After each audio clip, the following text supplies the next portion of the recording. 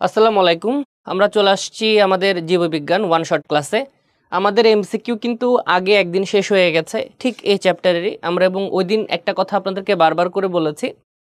যদি আপনার বোটানিতে চ্যাপ্টার থাকে কিছু, যেই চ্যাপ্টারগুলো থেকে সিকিউ একদম ফিক্সড মানে তোমার এর বাইরে কোনো কিছু জানার দরকার নাই এমসিকিউ একদম ফিক্সড যে তোমার এর বাইরে কোনো কিছু বোঝার দরকার নাই, সেটা হচ্ছে জীব প্রযুক্তি এই চ্যাপ্টারটা হচ্ছে আমাদের প্রত্যেকটা এইচএসসি অ্যাসপিরেন্টের কাছে একটা ব্লেসিংসের মতো।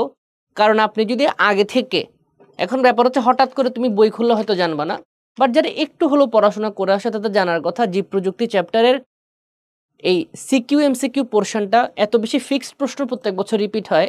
তুমি যদি গত কয়েক বছরের প্রশ্ন শুধু সলভ করে যাও ভালোভাবে, বুঝে বুঝে, তোমার কিন্তু এখান থেকে সিকিউ মিস হবে না।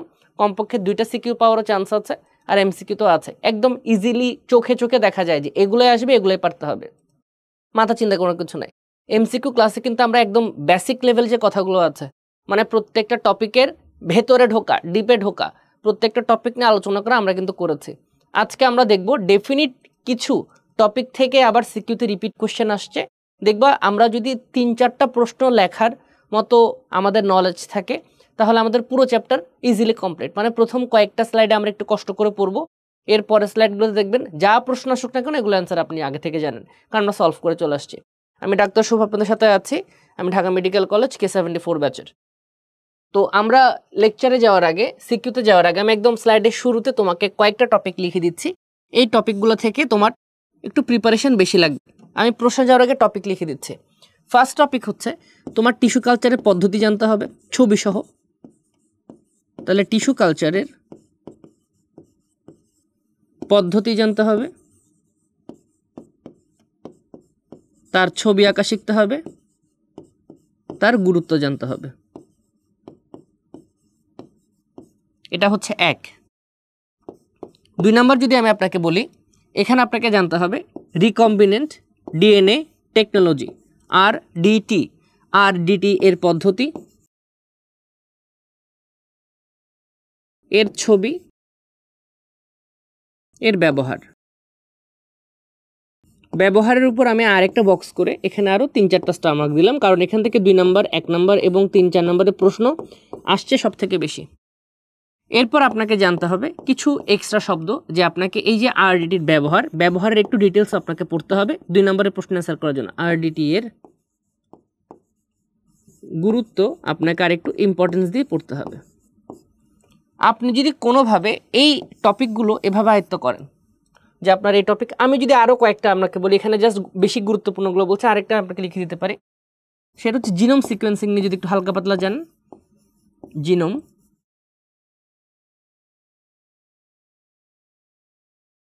সিকোয়েন্সিং নিয়ে যদি তুমি হালকা পাতলা জানো, তাহলে এটাই হচ্ছে তোমার এই চ্যাপ্টারের সিকিউ ক্র্যাক করার সবথেকে ইজিয়েস্ট পাথওয়ে আপনি যদি এটাটুকু পারেন, এর মানে হচ্ছে তোমার এই চ্যাপ্টার থেকে প্রচুর পড়াশোনা করা হয়ে গেছে এবং এই চ্যাপ্টার থেকে তুমি হান্ড্রেডে হান্ড্রেড পাচ্ছ। হান্ড্রেড পার্সেন্ট কমন পাচ্ছ। তাহলে আমার ক্লাসে যাই। তো দেখেন প্রথম প্রশ্ন, এটা আসছে আমাদের ঢাকা বোর্ডে দুই হাজার তেইশ সালে। কি বলছে? ভালো করে দেখি। এখানে একটা উন্নত প্রযুক্তির কথা বলছে। যেই বেটা ব্যবহারের মাধ্যমে ইনসুলিন উৎপাদন করা হয়ে গেছে। মানে তোমাকে ইন্ডিকেট করছে এটা রিকম্বিনেন্ট ডিএনএ টেকনোলজি বা জেনেটিক ইঞ্জিনিয়ারিং এর দিকে তোমাকে বারবার আঙ্গুল দিচ্ছে। এই প্রক্রিয়া খুব সহজতর হয়েছে ক্লিয়ার আমাদের কাছে। আবার বলছে মাইক্রো প্রোপাগেশন পদ্ধতি। যেই প্রোপাগেশন পদ্ধতিতে তোমার টিস্যু কালচার তাহলে মাইক্রো প্রোপাগেশন পদ্ধতি এক প্রকার টিস্যু কালচার পদ্ধতি। এর কালে ফসল উৎপাদনে বিপ্লব হয়েছে। মানে তোমার একই প্রশ্নে আর ডিটিও বলা হচ্ছে আবার একই প্রশ্ন তোমার টিস্যু কালচার নিয়েও কথা বলা হচ্ছে। তিন নম্বরের প্রশ্ন থেকে আমরা দেখাই উদ্দীপকে উল্লিখিত প্রথম অংশে যে প্রযুক্তির কথা উল্লেখ করা হয়েছে মানে এখানে আর ডিটির কথা জানতে চাচ্ছে। তা ব্যাখ্যা করো। আর উদ্দীপকের দ্বিতীয় অংশের কার্যক্রমটি কৃষিক্ষেত্রে বিপ্লব ঘটিয়েছে, এটা বিশ্লেষণ করো। তাহলে আসে আমরা একটা একটা করে আগাই, তাহলে সব থেকে ভালো হয়। আমরা কিন্তু এই প্রশ্নের অ্যান্সারও জানব, কৃষিক্ষেত্রে কি বিপ্লব আনছে এটাও আমরা জানব। একটা শিখলাম। আর আরেকটা আমরা শিখব হচ্ছে মাইক্রো প্রোপাগেশন কৃষিক্ষেত্রে কি হেল্প করেছে।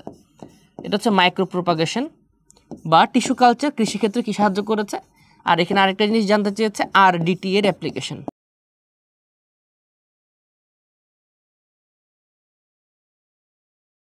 তাহলে আসলে আমরা প্রশ্নে যাই, এটা হচ্ছে প্রশ্ন অ্যান্সার করার সিস্টেম আপনাকে সবার আগে যখন বলা হবে যে কোনো ধরনের আর ডিটি এর পদ্ধতি তোমাকে বলবে, সবার আগে ফার্স্ট পেজে তোমাকে ছবিটাকে নিতে হবে। এখন এই ছবিতে তো অনেক কিছু বলা হয়েছে, আপনি কি কি করে রাখবেন? আমি আমার সময় এরকম করে রাখতাম, আমি একটা এক বসাতাম, এক। বসানোর পর আমি একটা ব্যাকটেরিয়াম আঁকতাম, এই একটা ব্যাকটেরিয়াম যে ব্যাকটেরিয়ামের মধ্যে একটা নিউক্লিয়ার বস্তু আছে, এটা তার নিউক্লিয়ার বস্তু, আর এটা হচ্ছে তার প্লাজমিড শেষ। দুই আমি এখানে লিখতাম, একটা জেনেটিক স্ট্রাকচার এরকম করে একটা জিন আঁকতাম আমি। এখানে আমি লিখতাম, এটা হচ্ছে কাঙ্ক্ষিত ডিএনএ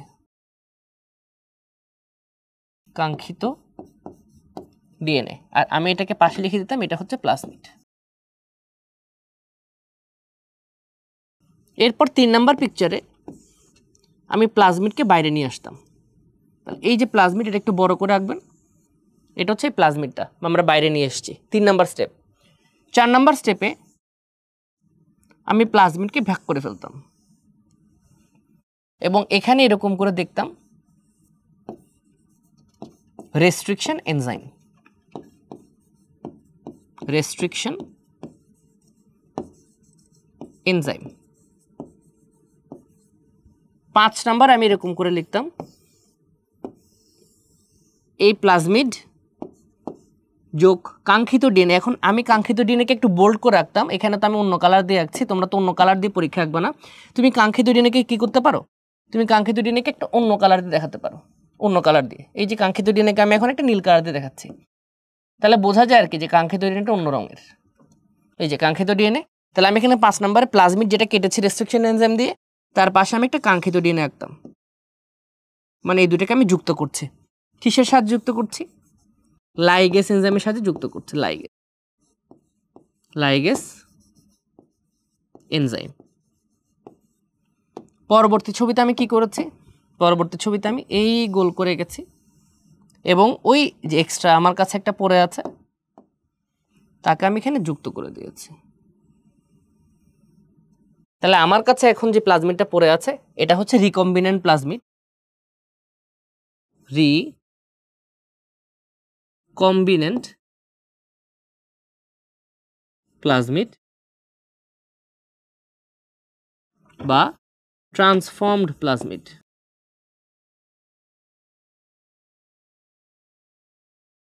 তাহলে ছবি এতটুকু সবার কাছে ক্লিয়ার মানে আমি এতটুকু অংশ ঠিক করে ফেলেছি। এই যে, এতটুকু অংশ পর্যন্ত আমার ক্লিয়ার হয়ে গেছে। এর পরবর্তী সময় আমি ছয় নম্বরে দিব। আবার কাছে আবার একটা ব্যাকটেরিয়া থাকবে।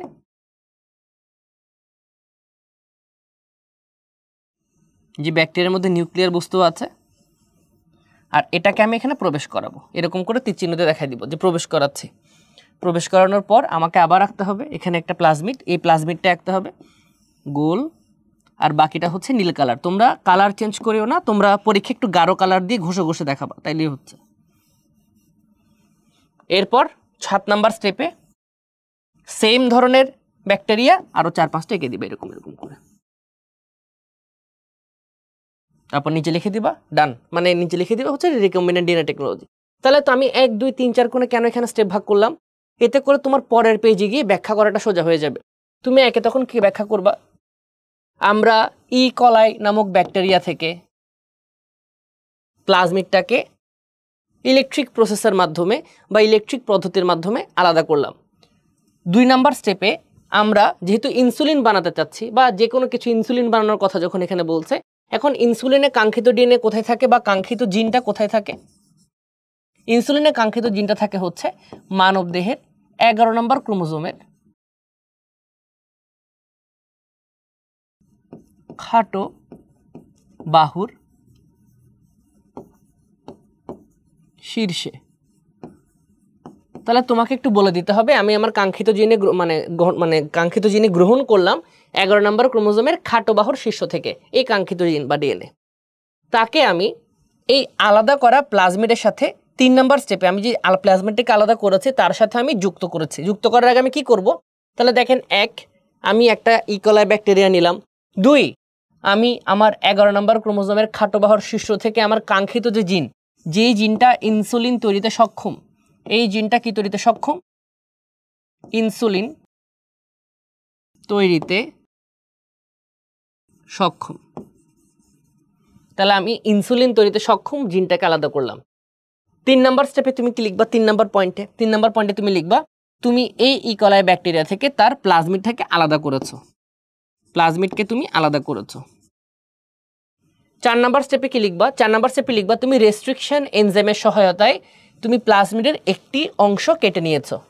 শেষ। পাঁচ নাম্বার স্টেপে কি লিখবা? তুমি লাইগেজ এনজাইমের সহায়তায় কাঙ্ক্ষিত জিএনএকে বা কাঙ্ক্ষিত জিনকে এই প্লাজমিডের মধ্যে স্থাপন করেছ। এর ফলে তুমি একটা রিকম্বিনেন্ট প্লাজমিড বা একটা ট্রান্সফর্ম প্লাজমিড পেয়ে গেছো।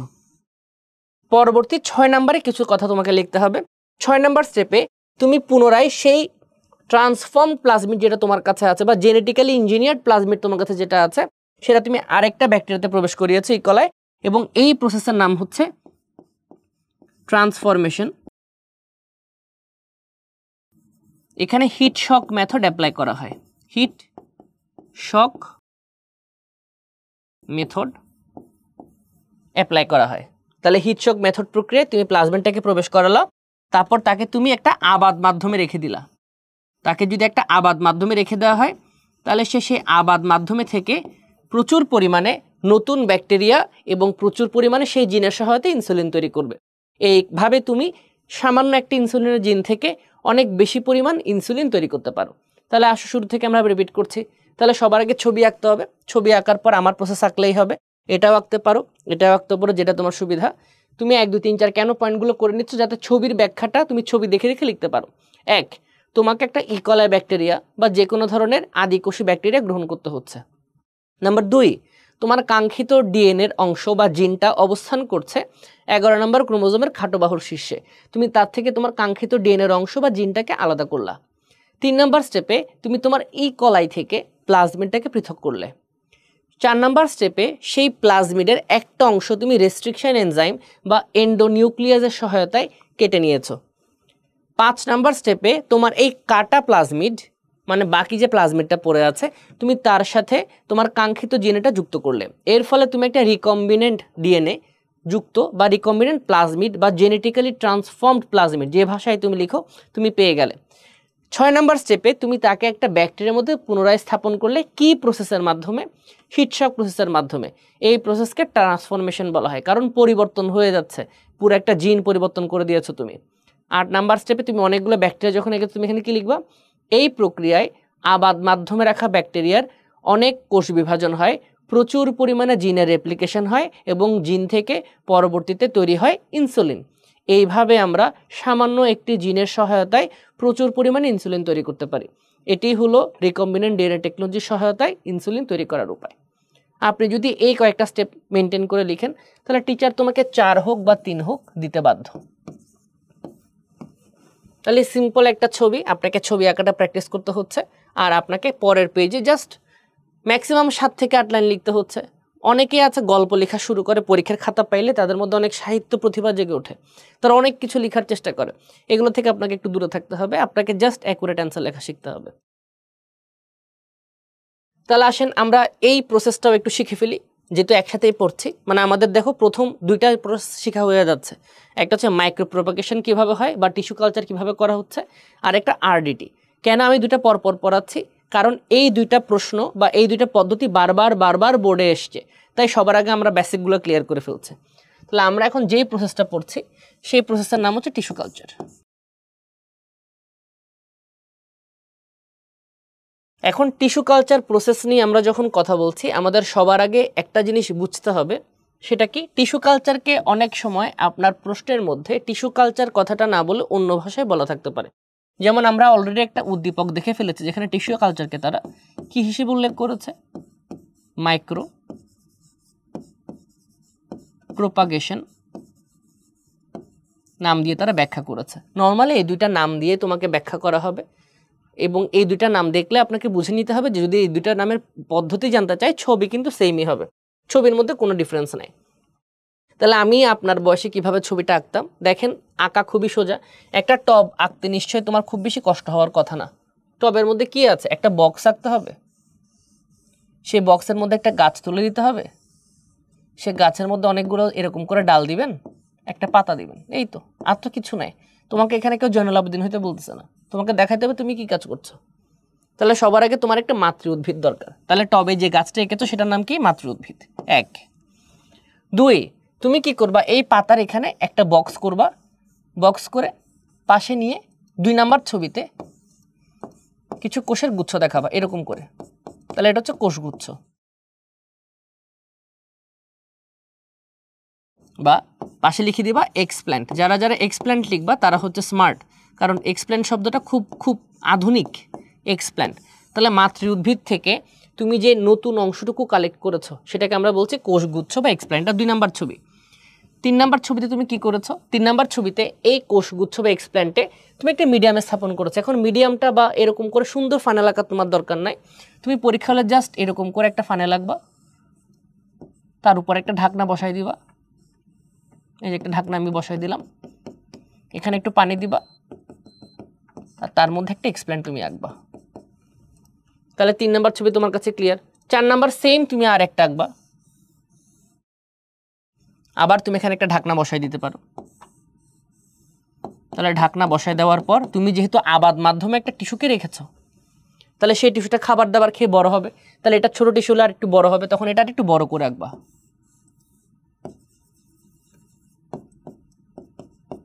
এবং পাশে লিখে লিখবা, টিস্যু গুচ্ছ বা এক্সপ্লেন রূপান্তরিত হয়ে কোথায় হয়েছে? ক্যালাস। আবার সেম ঘটনা, আবার একটা ফ্লাস্ক যেহেতু তুমি ক্যালাসকে আবার রেখে দিয়েছ, তাহলে ক্যালাসটা পরবর্তী সময়ে অনেকগুলো ছোট ছোট বাচ্চা তৈরি করবে। তাহলে এখানে অনেকগুলো ছোট ছোট তোমার বাচ্চা আঁকা লাগবে। তাহলে ছোট বাচ্চাগুলোকে তোমার কি লিখতে হবে? ছোট চারা সৃষ্টি। পরে চারাগুলো বড় হয়ে যাবে। তাহলে এর পরের স্টেপে তুমি কি করবা? একটা চারা আঁকবা, একটা চা আঁকবা, একটা চা আঁকবা। তাহলে চার নাম্বার ছবি শেষ। এরপর তুমি এই চারাগুলোকে নতুন করে টবে লাগাবা। তাহলে এখানে একটা টব আঁকলে এখানে তিন চারটা টব আঁকতেই হবে। স্বাভাবিক। তোমার তো উদ্দেশ্য একটা না? টিস্যু কালচার প্রসেসে বেশি বেশি চারা গাছ লাগানো চারা গাছ বানানো। এরকম তিন চারটা টব আঁকবা, আঁকার পর তুমি বলবা, এই যে বড় একটা গাছ হয়ে গেছে। এখন ছবিগুলার সিকোয়েন্স কেন ইম্পর্টেন্ট আপনারা ছবি আঁকেন ঠিকই বাট তোমার সিকোয়েন্সটা মেনটেন হয় না। যেমন প্রথমে তুমি যে এক নাম্বার ছবি দিয়েছ, এক নাম্বার ছবিতে তোমার একটা ভালো মাতৃ উদ্ভিদ দরকার, যেটার মধ্যে কোনো প্রকার রোগ বালাই নেই। কথাগুলো কিন্তু গুরুত্বপূর্ণ এমসিকিউতে বলেছে। রোগ বালাই বিহীন তোমার একটা গাছ সিলেক্ট করতে হবে। এখন যে গাছের তুমি টিস্যু কালচার করতে চাও সেই গাছের আমে যদি পোকা থাকে বেশি সেই গাছের ক্লোনিং করে কী লাভ? তুমি যে গাছের টিস্যু কালচার করে চাচ্ছ সেই গাছের অনেক চারা হোক সেই গাছের আমের মধ্যে নব্বই পার্সেন্ট আমে পোকা। সেখন সেই গাছের আম যদি তুমি আরও দশটা লাগাও, তোমার লাভ হলো কোনো? তোমার তো কোনো বাণিজ্যিকভাবে লাভই হয় না কারণ নতুন যে গাছগুলো, ওগুলো তো আমের পোকাই হবে, কারণ আমের জাতটাই খারাপ। তুমি লাগাইলে লাগাবা, হিমসাগরের কোনো একটা টিস্যু কালচার করবা। তুমি গোপালভোগের টিস্যু কালচার করবা, তুমি ল্যাংরামের টিস্যু কালচার করবা, তুমি কেন পোকা আলামের করবা? তাহলে নাম্বার ওয়ান তোমাকে কি করতে হচ্ছে? রোগ মুক্ত একটা গাছ সিলেকশন করতে হচ্ছে। তাহলে রোগ মুক্ত গাছ সিলেকশন এবং লিখে রাখবা, এটা হচ্ছে টবে লাগানো মাতৃ উদ্ভিদ। তাহলে তোমার এক নাম্বার পয়েন্টটা ক্লিয়ার ছবি আঁকা শেষ এবং বর্ণনা দেওয়া শেষ। দুই নাম্বার পয়েন্টে তুমি কি করছ? সেই গাছের একটা অংশ কাটছো, সেটা পাতা হতে পারে, ডাল হতে পারে। তো এত কঠিন ছবি আঁকার দরকার নেই, পাতার ওখানে একটা বক্স করবা। বক্স করে দেখাবা তুমি পাটা থেকে কেটে নিচ্ছ। তাহলে দুই নাম্বারে তুমি এক্সপ্ল্যান্টকে আলাদা করলা। এটা হচ্ছে এক্সপ্ল্যান্ট দুই নাম্বার ছবিতে এক্সপ্ল্যান্টকে আলাদা করলা তুমি। হোয়াট ইজ এক্সপ্ল্যান্ট মাতৃ উদ্ভিদ থেকে টিস্যু কালচারের জন্য পৃথকীকৃত অংশটাকে বলা হয় এক্সপ্ল্যান্ট মাতৃ উদ্ভিদ থেকে টিস্যু কালচারের জন্য যতটুকু অংশ তুমি কালেক্ট করছ, তাকে তুমি বলছো এক্সপ্ল্যান্ট এক্স মানে কি? প্রাচীন না এক্স কথাটার মানে হচ্ছে পূর্ব, তোমার এক্স গার্লফ্রেন্ড আগের গার্লফ্রেন্ড তাহলে আগের উদ্ভিদ থেকে নেওয়া অংশকে বলা হচ্ছে এক্স প্ল্যান্ট আগের প্ল্যান্ট থেকে নেওয়া। এই শব্দগুলো ভুল করা যাবে না। এটা মাতৃ উদ্ভিদের মাদার প্ল্যান্ট মাদার প্ল্যান্ট থেকে যেটা পাচ্ছ সেটা হচ্ছে এক্স প্ল্যান্ট সেই এক্স প্ল্যান্টকে তুমি একটা আবাদ মাধ্যমে রেখেছো বা একটা মিডিয়ামে রেখেছো। তাহলে তিন নম্বর ছবি হয়ে গেছে, তোমাকে একটা বক্স রাখতে হবে। বক্সের মধ্যে ক্যালাসটাকে, ওই ছোট এক্সপ্ল্যান্টকে রাখতে হবে আর অনেক খাবার দিতে হবে। লিখে রাখতে হবে কি? আবাদ মাধ্যমে টিস্যু স্থাপন। এই যে আবাদ মাধ্যমে টিস্যু স্থাপন বা মিডিয়ামে টিস্যু স্থাপন। মিডিয়ামে তো অনেক খাবার আছে, খায়া দেয় এসে বড় হবে। তাহলে এর পরের ছবিতে তোমার এক্সপ্লেনটাকে একটু বড় করে রাখতে হবে। নাম দিতে হবে কি? ক্যালাস। ক্যালাস কথাটা মানে হচ্ছে বড় কোষের গুচ্ছ বা বড় ধরনের এক্সপ্ল্যান্ট আবার তুমি তাকে খাবার দিয়েছ, তাহলে এক্সপ্ল্যান্ট আরও বড় হয়ে ছোট ছোট অনেকগুলো চারা বানায় ফেলবে, ছোট ছোট অনেকগুলো কোষের গুচ্ছ বানাবে।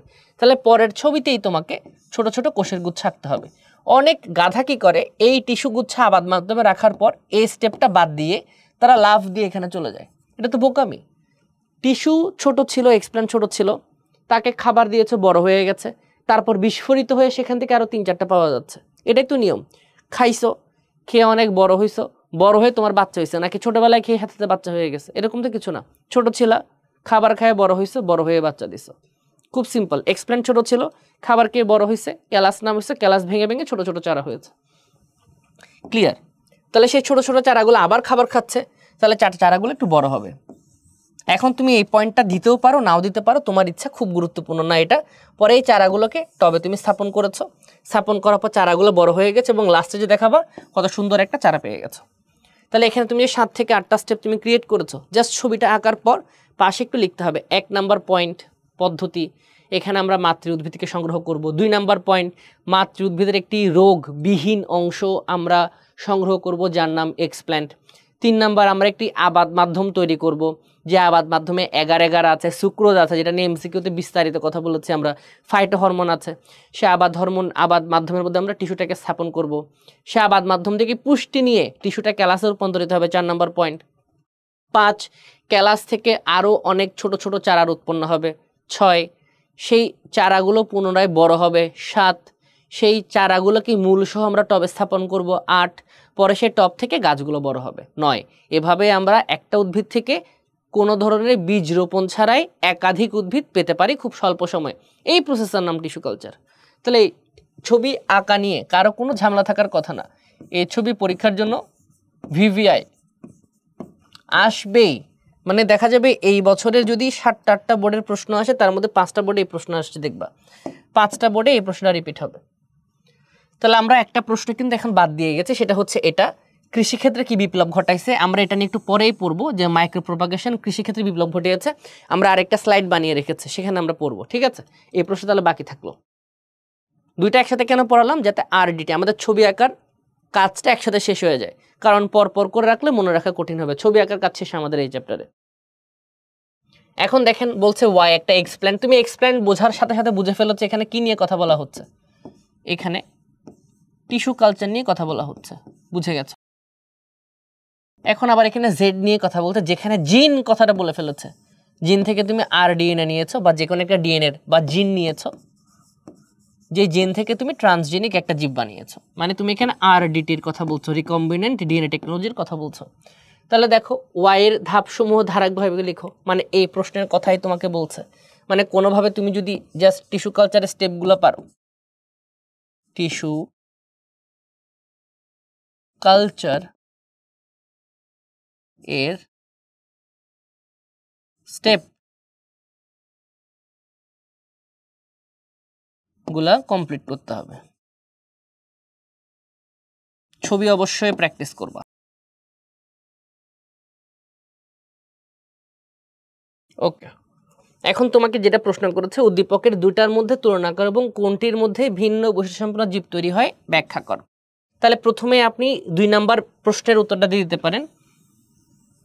এই দুইটার মধ্যে টিস্যু কালচারে তুমি কিন্তু যে আম গাছ নিচ্ছ, সেই টিস্যু কালচারে তুমি যে আম গাছটা নিচ্ছ, সেই আম গাছটার চারায় কিন্তু তুমি ছোট থেকে আবারও বড় করছ এবং দিন সে তুমি আম গাছই পাচ্ছ। তাহলে দেখো মাতৃ উদ্ভিদ যেমন, সেখানে কিন্তু তুমি টিস্যু কালচারে একদম বাচ্চাগুলো সেরকম পাচ্ছ। বাট আর ডিটিতে কি হচ্ছে? আর ডিটি তুমি জিন পরিবর্তন করে দিচ্ছ একদম কমপ্লিটলি তাহলে ওই ব্যাকটেরিয়ার পুরো ক্যারেক্টার বদলাই গেছে। আর ডিটির মাধ্যমে পুরো ক্যারেক্টার তৈরি করা সম্ভব। পুরো বৈশিষ্ট্য পরিবর্তন করে দিয়েছ। যে ব্যাকটেরিয়া আগে ইনসুলিন বানায়তোই না, তুমি সেই ব্যাকটেরিয়ার মধ্যে ইনসুলিন প্রবেশ করিয়ে দিয়েছ, পরে সেই ব্যাকটেরিয়া ইচ্ছা মতো ইনসুলিন বানাইছে। যে ইনসুলিন তুমি ব্যবহার করছ, তাই তোমার হাতে এখন ইনসুলিনের দাম কত? দুশো আশি টাকা, তিনশো টাকা, তিনশো পঞ্চাশ টাকা। যেখানে নাইনটিন সিক্সটি সেভেন্টির দিকে ইনসুলিনের পার বোতলের দাম ছিল দশ থেকে বারো হাজার টাকা।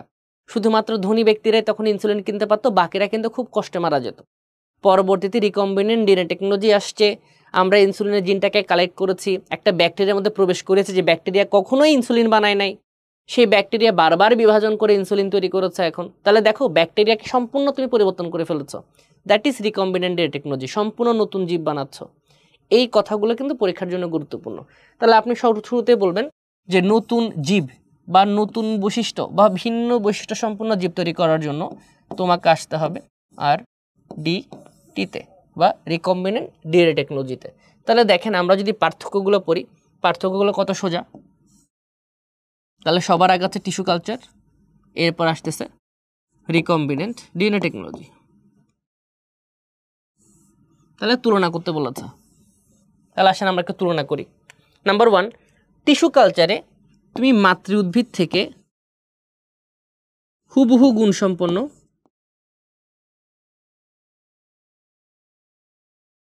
অপত্য চারা বানাও। এক, কিন্তু আর ডিটিতে তুমি কি করছ? আর ডিটিতে তুমি এমন উদ্ভিদ বানাচ্ছ যেটার ভিন্ন বৈশিষ্ট্য আছে। ভিন্ন বা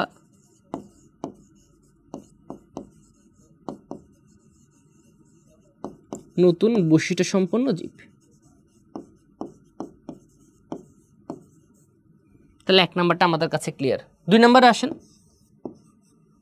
এই প্রক্রিয়ায় একাধিক চারা বানানোই আমাদের উদ্দেশ্য থাকে। একাধিক উদ্ভিদ বানানোই আমাদের উদ্দেশ্য। কিন্তু এখানে আমাদের কোনো জীব পাওয়ার থেকে সেই জীব থেকে প্রাপ্ত রাসায়নিক উপাদান আমাদের কাছে মুক্ত। কোনো একটা জীব থেকে পর্যাপ্ত। রাসায়নিক পদার্থ পাওয়া কিংবা তার বৈশিষ্ট্য পরিবর্তন আমাদের একমাত্র উদ্দেশ্য।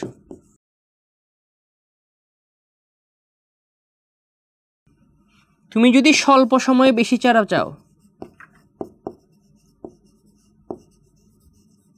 তুমি যদি স্বল্প সময়ে একাধিক চারা চাও তাহলে তোমাকে টিস্যু কালচার আসতে হবে। কিন্তু এখানে কিন্তু তুমি স্বল্প সময়ে একাধিক চারা নাও পেতে পারো।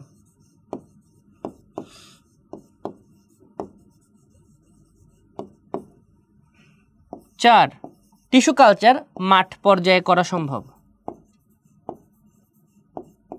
মাঠ পর্যায়ে কথা মানে কি তোমার যে গ্রাম, যে ইউনিয়ন আছে সেখানেও কিন্তু টিস্যু কালচার করা সম্ভব, একটা রুমের মধ্যে। Tissue culture is very much easy শুধু তোমার এক্সপ্ল্যান থেকে কেটে নিতে হবে, সেটাকে একটা আবাদ মাধ্যমে রাখতে হবে এবং এখান থেকে চারা গাছগুলোকে আলাদা করতে হবে।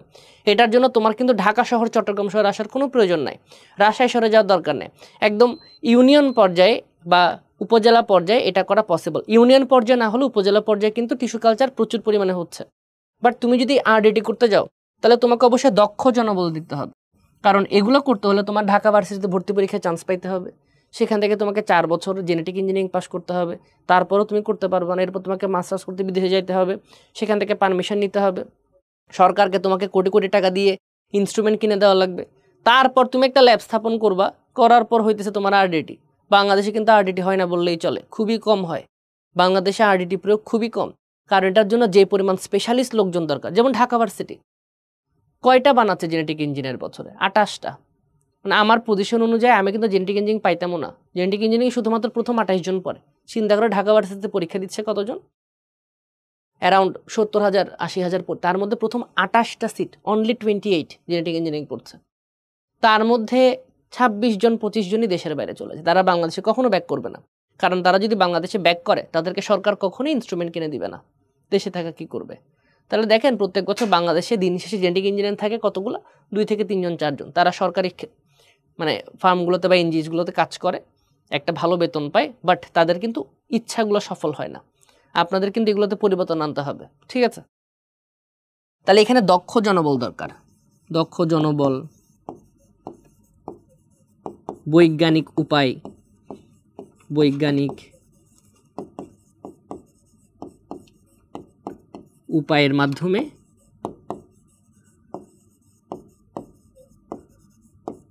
পরিচালনা। পাঁচ, এখানে উন্নত যন্ত্রপাতির ব্যবহার খুব কম। টিস্যু কালচার করার জন্য তোমার একটা কাঁচি, একটা খাবারের বাটি, তোমার একটা ঢাকনা আর ছোট ছোট এক্সপ্ল্যান্ট, একটু আলো বাতাস থাকলেই হচ্ছে। উন্নত যন্ত্রপাতির খুব প্রয়োজন নাই। কিন্তু এখানে তোমার উন্নত যন্ত্রপাতির দরকার। আর লাস্টলি ছয় নাম্বার পয়েন্ট আমি এখানে লিখে দিচ্ছি। আর লাস্টে তাহলে আমি যদি একটা কথা তোমাকে বলি, সেটা হচ্ছে এটা খুবই কমপ্লেক্স প্রসেস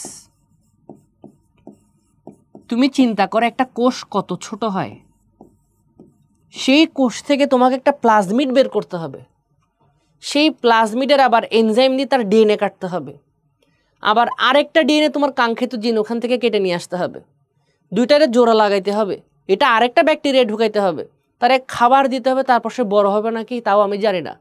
এটা কোয়েশ্চেন মার্ক রয়ে যায়। অনেক কঠিন প্রসেস যেরকম করে ছবি এঁকে দিলাম আর হয়ে গেল, এটা খালি বাংলাদেশে সম্ভব। কিন্তু বাস্তবে কিন্তু এগুলো করা অনেক টাফ আর এটা অনেক সিম্পল প্রসেস এটা অনেক সিম্পল প্রসেস তাহলে আপনি যদি এতগুলো কথা শুধু শুধু বুঝে বুঝে একবার লিখেন, স্যারেরা বুঝে যাবে যে আপনার নলেজ অনেক বেশি।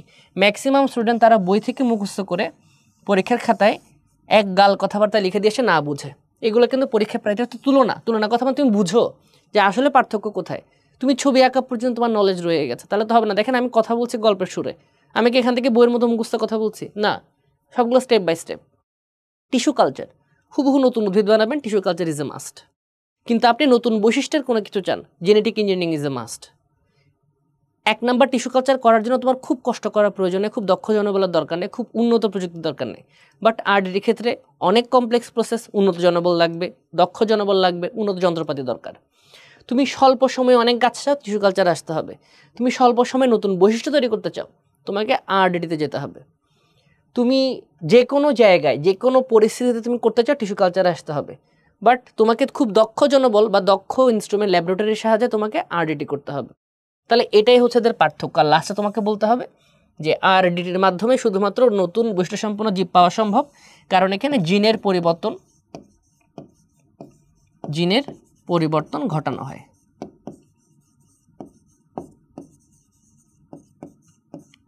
ঘটানো হয়। তাহলে শুধু আমার এই স্লাইডটাও যদি তুমি পড়ে যাও, তাহলে তোমার পরীক্ষায় চার নাম্বার কনফার্ম হয়ে যাবে। এটা কিন্তু তোমাদের বইয়ের মধ্যে অনেক কঠিনভাবে, তোমাদের গাইডগুলোতে অনেক কঠিনভাবে অনেক বড় করে লেখা। পড়তে কিন্তু ঝামেলা হইতে পারে। শুধুমাত্র স্লাইডের লেখাগুলো যদি তুমি একবার পড়ে যাও, চোখ বলে যাও, দেখবে পরীক্ষার আগে ক্লিয়ার একটা কনসেপ্ট চলে আসছে যে আমার পরীক্ষা খাতায় কী লিখতে হচ্ছে। তাহলে আমাদের এখানকার প্রশ্ন কোনটা কোনটা ছিল? ওয়াইয়ের ধাপগুলো আমরা আলোচনা করে ফেলেছি আগের স্লাইডে দিস ওয়ান ওয়াইয়ের স্লাইড আর আমাদের পরেরটাতে গিয়ে হচ্ছে আমরা দুইটা পথে পার্থক্য দিয়েছি পরীক্ষায় কিন্তু তুলনা আসতে পারে, কোনটা ভালো এটা আসতে পারে, কোনটা খারাপ আসতে পারে। তোমাকে বলতে পারে ওয়াই এবং জেডের মধ্যে কোনটাতে স্বল্প সময় ভিচারা পাওয়া সম্ভব, অথবা ওয়াই ও জেডের মধ্যে কোনটার মধ্যে বৈশিষ্ট্য পরিবর্তন করা সম্ভব, নানান অ্যাঙ্গেলে প্রশ্ন আসবে বাট প্রশ্নের উত্তর কিন্তু একটাই, পার্থক্য করতে হবে। এখন আসো, আবার একটা প্রশ্ন আসছে, জীব প্রযুক্তি বা জৈব প্রযুক্তির এ থেকে এক্সপ্ল্যান্ট অসংখ্য অনুচারা মানে বাংলা কথায় তোমাকে আবার টিস্যু কালচারে যেতে বলছে। বি প্লাজমিড কাঙ্ক্ষিত জিন রিকম্বিনেন্ট ডিএনএ মানে বাংলা কথায় তোমাকে আবার আসতে বলছে আরটিতে রিকম্বিনেন্ট ডিএনএ টেকনোলজি তাহলে কি বলল? উদ্দীপককে নির্দেশিত বি প্রক্রিয়ার ধাপসমূহ চিত্রের সাহায্যে দেখাও। তাহলে বিটা কিন্তু আমি অলরেডি দেখাই ফেলছি যে আপনি আসলে কি করছেন। এই টোটাল প্রসেসটা আপনাকে আবার একে পরীক্ষার মধ্যে দেখাইতে হবে। আপনি এটাও আঁকতে পারেন বাট এই ছবিটা আঁকাটা তোমার জন্য একটু কঠিন, কারণ এখানে তারা জেমিতিক অনেক গ্রাফিক্স ট্রাফিক্স ইউজ করছে। বাট আমি যখন তোমার বসে ছিলাম, আমি একদম খালি হাতে এরকম করে আঁকতাম। একদম সিম্পল ছবি। এখানে কোনো ধরনের চতুর্ভুজ, পঞ্চভুজ স্কেল কোনো কিছুর ব্যবহার নাই, শুধু হাত, খালি হাতের ব্যবহার। এটা আঁকলে তুমি ফুল মার্কস পেয়ে যাচ্ছ। তাহলে আমরা এটা পারব।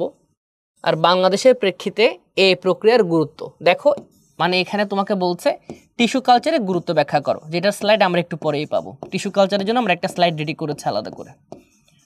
টিস্যু কালচারের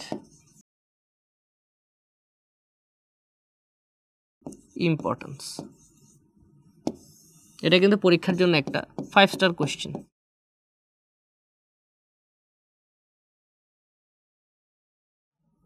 তাহলে আসেন আমরা এখানে ব্যাসেলাস টিস্যু কালচার নিয়ে কথা বলতে, আমরা একটু পরে যাব ওখানে টিস্যু কালচারে আমি বলছি এই প্রশ্নটা আমরা কিন্তু পড়ব।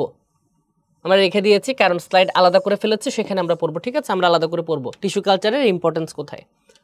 ডায়াবেটিস চিকিৎসা মানে তোমাকে বাংলা কথায় আবার ইনসুলিনের এখানে আসবে।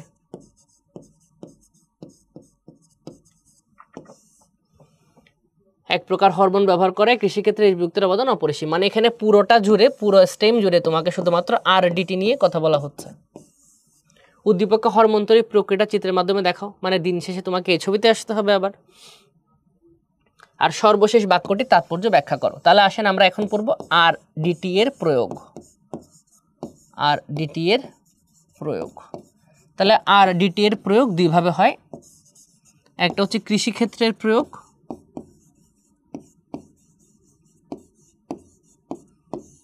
আরেকটা হচ্ছে চিকিৎসা ক্ষেত্রে এর প্রয়োগ পরীক্ষায় যে কোনো একটা আসতে পারে বা দুইটাই আসতে পারে। পরীক্ষায় দিতে পারে তোমাকে কৃষিক্ষেত্রে প্রয়োগ ব্যাখ্যা করো। পরীক্ষা আসতে পারে চিকিৎসা ক্ষেত্রে প্রয়োগ ব্যাখ্যা করো। পরীক্ষা আসতে পারে মানব জীবনে এর গুরুত্ব ব্যাখ্যা করো যে কোনো কিছু আসতে পারে। তো দুইটার প্রিপারেশন আমি একসাথে পড়ে ফেলব।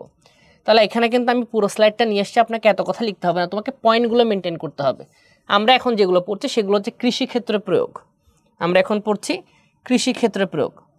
তাহলে কৃষিক্ষেত্রে প্রয়োগের শুরুতে হচ্ছে তোমার একটা ট্রান্সজেনিক উদ্ভিদ। ট্রান্সজেনিক কথাটার মানে কি? নতুন।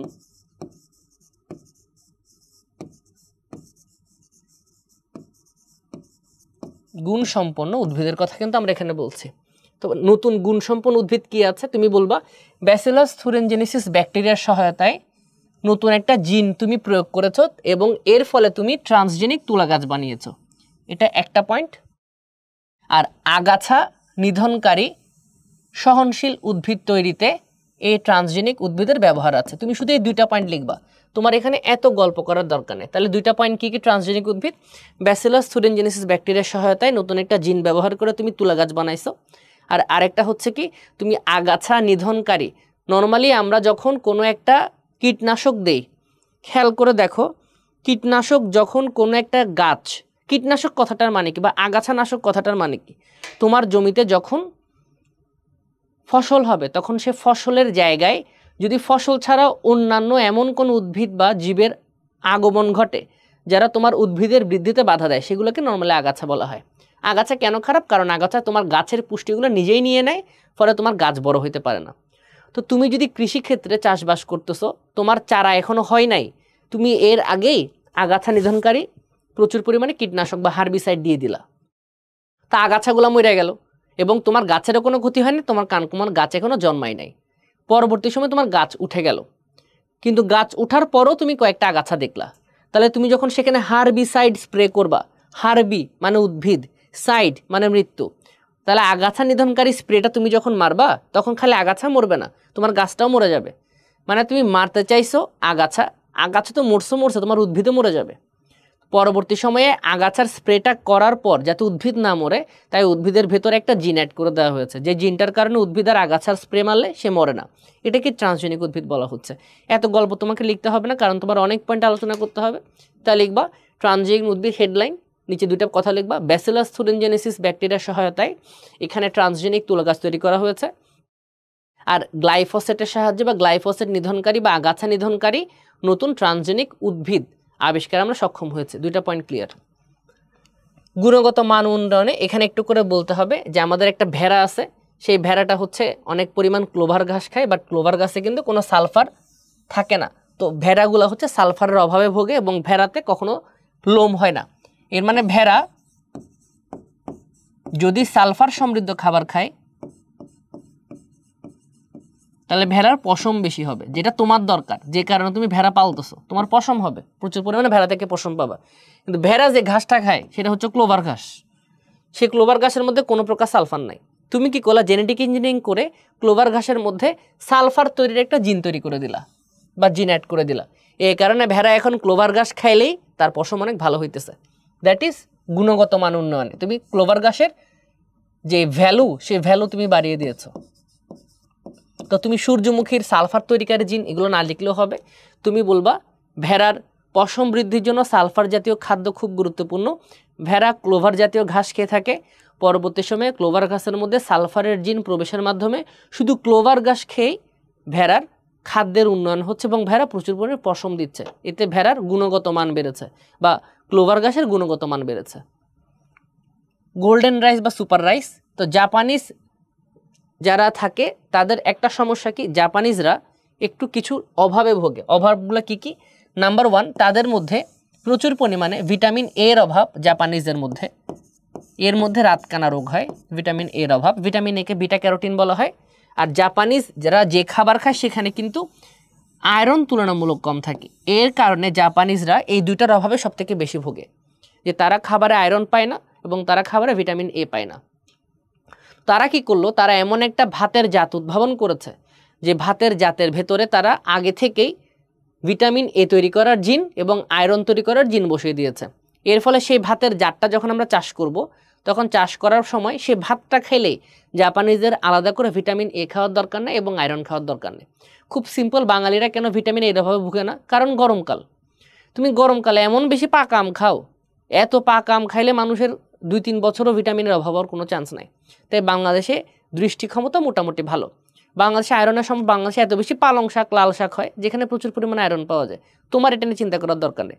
বাট জাপানিজরা এগুলো থেকে খুব দূরে থাকে। তাদের ওখানে আম আমাদের মতো হয় না।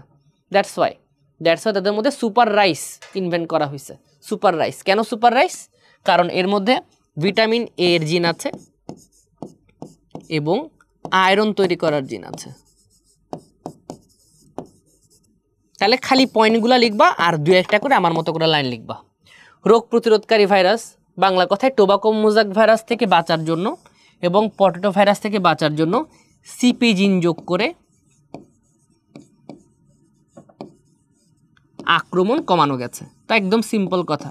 নর্মালি টোবাকো মোজাক ভাইরাস টোবাকোকে আক্রমণ করে বা তামাক গাছকে আক্রমণ করে পটেটো মোজাক ভাইরাস আলো গাছকে আক্রমণ করে। তাই তুমি এই গাছগুলোর মধ্যে আগে থেকেই এগুলোকে প্রতিরোধ করা যায়, এরকম একটা জিন অ্যাড করে দিয়েছ। যে কারণে তামাক গাছের তামাক ভাইরাস আক্রমণ করে না, আলুর গাছের আলুর ভাইরাসগুলো আক্রমণ করছে না। দ্যাটস ইট তাহলে রোগ প্রতিরোধ ক্ষমতা বাড়াচ্ছ টোমাকোমোজাক ভাইরাস বা তামাক গাছে আর আলুর গাছে। সিম্পল কথা, এত দুই তিন লাইন জুড়ে লেখার তোমার কোনো প্রকার নেই। নাইট্রোজেন সংবন্ধন, শুধুমাত্র লিখবা নাইট্রোজেন সংবন্ধন করার জন্য নিভ জিনের ব্যবহার করা হয়েছে। নাইট্রোজেন সংবন্ধন করার জন্য বা নাইট্রোজেন কেন? কারণ গাছের যে টোটাল খাবার, তা সেটা হচ্ছে সার বা নাইট্রোজেন জাতীয় পদার্থ। তুমি যদি গাছের মধ্যে নাইট্রোজেন পরিবেশ থেকে যুক্ত করার জিন অ্যাড করে দাও, তাহলে গাছের মধ্যে সার কম প্রয়োগ করলেও চল। বাংলাদেশ এগুলো এখনও আসে না এগুলো আমেরিকাতে এখনও প্র্যাকটিসে আছে। জাস্ট লিখবা ওখানে কি? যে নাইট্রোজেন সংবন্ধনের জন্য নিভজিনের ব্যবহার করা হয়েছে। দ্যাটস এনাফ তাহলে আপনাকে এখানে চারটা পয়েন্ট লিখতে হচ্ছে। এই চারটা পয়েন্ট লেখার পর আপনাকে জাস্ট প্রত্যেকটা পয়েন্টে দু একটা কথা লিখতে হবে। এটা লিখলে তোমরা কিন্তু পয়েন্ট বাদ দিবা না। পয়েন্ট সব রাখবা, শুধু এখানে লাইন কমাতে পারবা।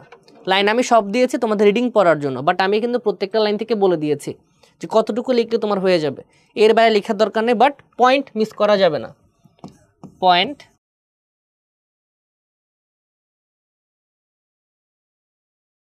পয়েন্ট মিস করা যাবে না।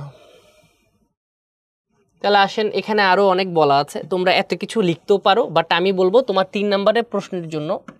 তিন নম্বরের প্রশ্ন যদি কখনো দেওয়া থাকে, যে কৃষি গুরুত্ব ব্যাখ্যা করো।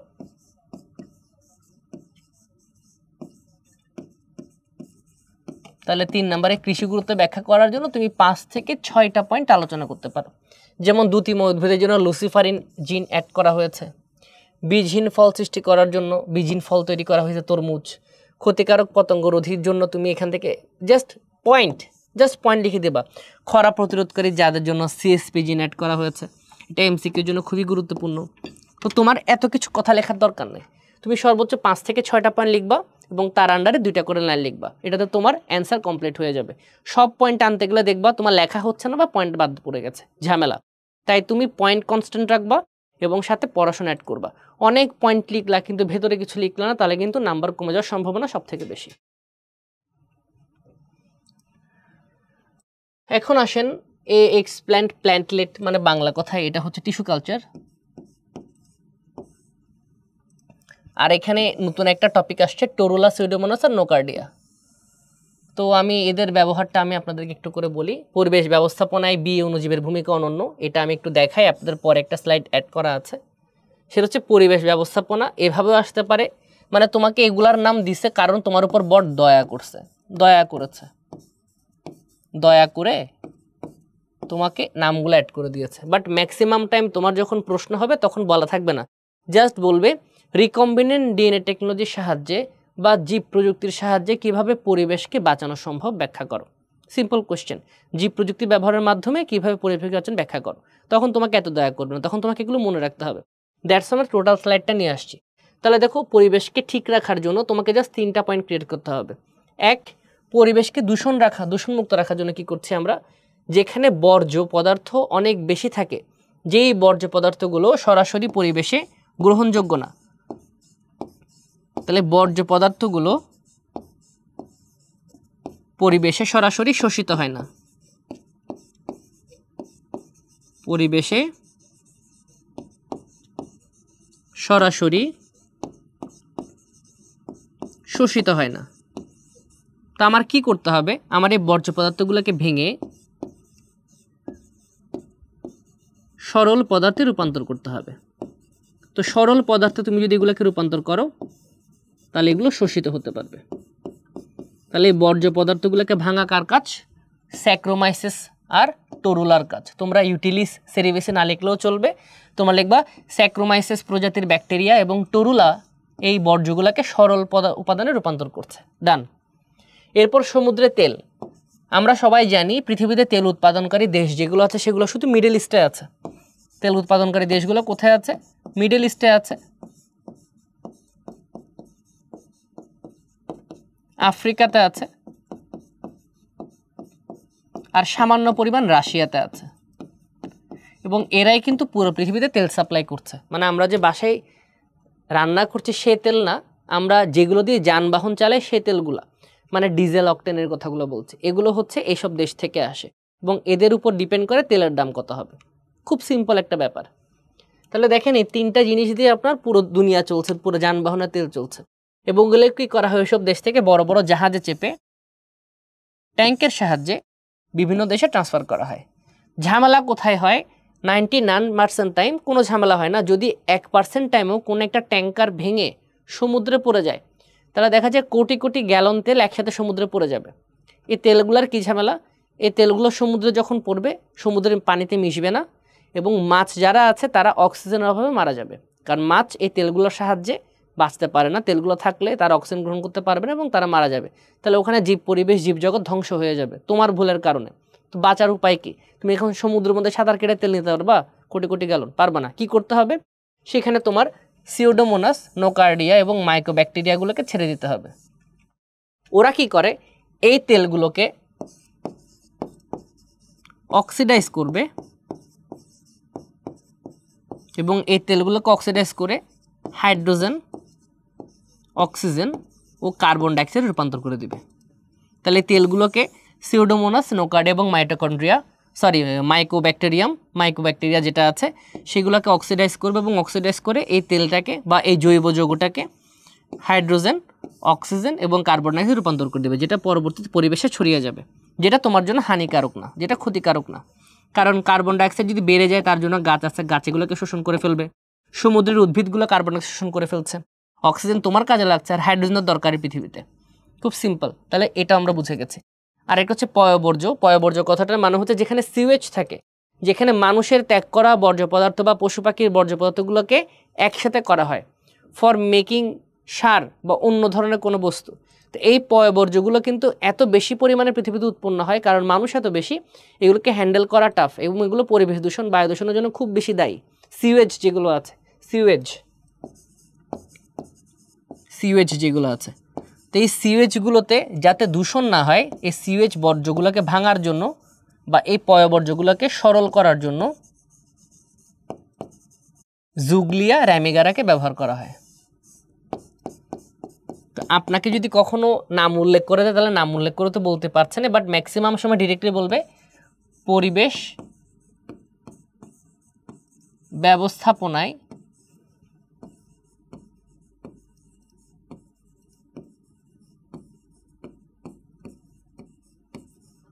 জীব প্রযুক্তির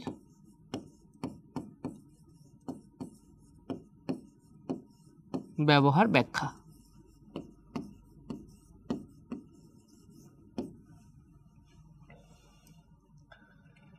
এখন আসেন ক চিত্রের প্রযুক্তিটি, বহু সংখ্যক চারা উৎপাদন মানে বাংলা কথায়, এখানে টিস্যু কালচারের কথাই বলা হচ্ছে। তাহলে এটা নিয়ে আমাদের আর খুব বেশি নাড়াচাড়া করার দরকার নাই। এবং খ ঘ, এটা হচ্ছে ঘ নাম্বার প্রশ্ন হ্যাঁ? বর্তমান বিশ্বের সরি এটা খ খ নাম্বার খ নাম্বার ছবি, এটা ক নাম্বার ছবি। বর্তমান বিশ্বে অপরাধী শনাক্তকরণে খ প্রযুক্তিটির ব্যবহারে ব্যবহৃত হচ্ছে। তো আমি আগে খ প্রযুক্তির একটু ব্যাখ্যা করি। এই যে ছবিটা দেখাচ্ছে, এটা হচ্ছে জিনোম সিকোয়েন্সিং এর ছবি।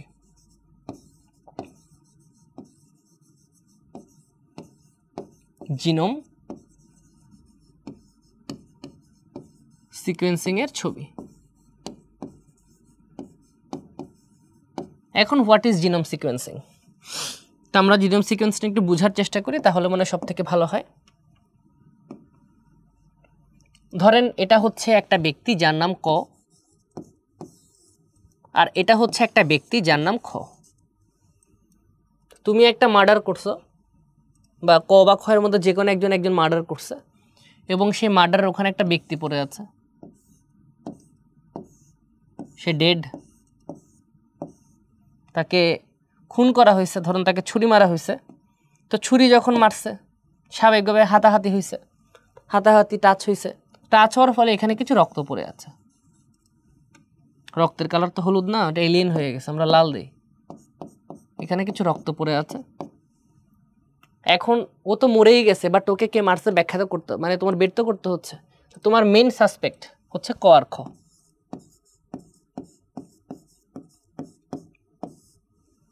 তোমার কাছে এখানে একটা রক্তের স্যাম্পল পড়ে আছে। যে রক্তের স্যাম্পেলে ভিকটিমের রক্ত আছে,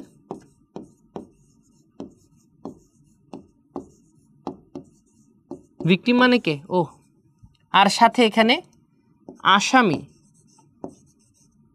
আসামির বানান কি হবে? আসামি না লিখি, আসামি স্বামীর বানান নাকি জানি না, অপরাধী লিখি। অপরাধী, এখানে অপরাধী রক্ত আছে। তাহলে অপরাধীর যদি রক্ত থাকে। তাহলে অপরাধীর রক্তে অবশ্যই আরবিসি ডাব্লিউবিসি আছে। তাহলে আরবিসি ডাব্লিউবিসি এবং প্লেটলেট আছে এবং এদের মধ্যে অবশ্যই কোষ আছে। এগুলো কোষ, আর কোষ থাকলে তার একটা ডিএনএ আছে। তাহলে এগুলো কোষ এবং তার মধ্যে ডিএনএ আছে। তাহলে এখানে যে ডিএনএটা আছে, ধরেন সেখানের একটা সিকোয়েন্সিং হচ্ছে। ধরেন সেই ডিএনএটা আমি নিলাম এক নম্বর ক্রোমোজোমের ডিএনএ সাপোজ এক নাম্বার ক্রোমোজোমের ডিএনএ বা সে রক্ত থেকে আমরা পেয়েছি। তা এক নাম্বার ক্রোমোজোমের ডিএনএ এবং এক নাম্বার ক্রোমোজোমের বড় বাহুর শীর্ষে তুমি কি দেখতে পেয়েছ? এই রক্তের যে রক্তের কোষ, সে রক্তের কোষের এক নাম্বার ক্রোমোজোমের বড় বাহুর শীর্ষে তুমি কি দেখতে পেয়েছ? এখানে এরকম একটা সিকোয়েন্স লেখা আছে। A T C G C G A T A T A T G C এরকম করে একটা সিকোয়েন্স আছে। এখন তোমার যে দুজন সাসপেক্ট তুমিও কি করছ তাদের এক নাম্বার ক্রোমোসোমের এক নাম্বার ক্রোমোজোম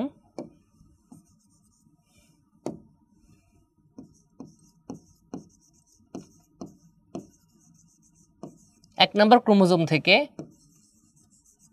জেল ইলেকট্রোফোরোসিস। এই কথাটা একটু উল্লেখ করতে হবে। জেল ইলেকট্রোফোরেসিস প্রক্রিয়ায় তুমি কি করেছ? তার ডিএনএকে বা তার জিনকে পৃথক করেছ।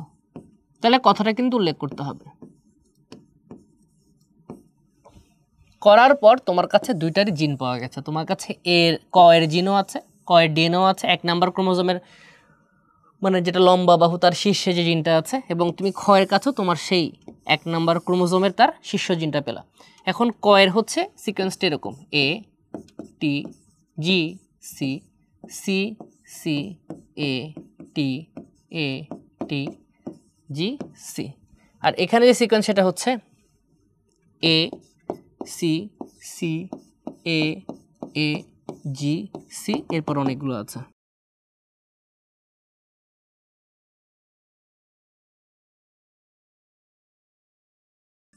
তাহলে দেখো, তুমি যখন পেয়ে গেছে একটা তোমার ডিএনএর ব্যান্ড, তোমার ডিএনএর ব্যান্ডের সাথে কোনটা ম্যাচ করছে? এক, ক, নাকি খ? খটা ম্যাচ করছে। তাহলে খ যদি ম্যাচ করে, খ হচ্ছে তোমার অপরাধী। তাহলে তুমি অপরাধী বের করার জন্য কি করেছ? তুমি তোমার যে ভিকটিমের স্থল, সেখান থেকে তুমি তার ডিএনএটা কালেক্ট করেছ। ডিএনএ কালেক্ট করার জন্য জেল ইলেকট্রোফোরেসিস পদ্ধতি জিনটাকে কালেক্ট করেছ এবং তোমার যে সাসপেক্ট বা সাসপেক্ট আছে এই অপরাধের জন্য তুমি তাদের এক নম্বর ক্রোমোজোম বা সেম ডিএনএকে আলাদা করেছ জেল ইলেকট্রোফোরেসিস প্রক্রিয়ায়। পৃথক করার পরবর্তী সময় তুমি দুইটা ডিএনএর মধ্যে কম্পেয়ার করেছ এবং কম্পেয়ার করার পরবর্তী সময় তুমি দেখতে পেয়েছ যে এর মধ্যে যে কোনো একজনেরটা মিলছে এবং সে হচ্ছে ভিকটিম কিন্তু এই পুরোটা জিএনএম সিকোয়েন্সিং বা এই যে আমরা একটা নাম দিলাম জিনোম সিকোয়েন্সিং কেন এটাকে জিনোম সিকোয়েন্সিং দিলাম? তখন তোমাকে লিখতে হবে জিনোম সিকোয়েন্সিং এমন একটা প্রসেস যেই প্রক্রিয়ার ভেতরে আপনি কোনো একটা ডিএনএর একটা নির্দিষ্ট অংশে জিনের বা নিউক্লিওটাইডের অবস্থান বের করতে পারেন। তাহলে জিনোম সিকোয়েন্সিং কি? যেই প্রক্রিয়ায় তুমি তোমার ডিএনএর বা তোমার জিনের বা তোমার ডিএনএর একটা নির্দিষ্ট অংশের জিনের অবস্থান বা নিউক্লিওটাইডের সারি বা নিউক্লিওটাইড অবস্থান বের করতে পারো। সেই প্রক্রিয়াকে জিনোম সিকোয়েন্সিং বলা হয়। খুব সিম্পল একটা বিষয়। যেই প্রক্রিয়ায় তুমি যে একটা কাঙ্ক্ষিত ডিএনএর তে থাকা জিনের অবস্থান সুনির্দিষ্টভাবে বের করতে পারো, তার নাম জিনোম সিকোয়েন্সিং। এই প্রক্রিয়ায় কোনো একটা ডিএনএতে থাকা নিউক্লিওটাইডের সারি বের করা হয় এবং এর সাহায্যে অপরাধী শনাক্তকরণ করা হয়। আর কি কি করা যায়? এই প্রক্রিয়ায় জিনোম সিকোয়েন্সের মাধ্যমে একটা কাজ হচ্ছে অপরাধী শনাক্তকরণ। আর একটা হচ্ছে স্বজন নির্ধারণ।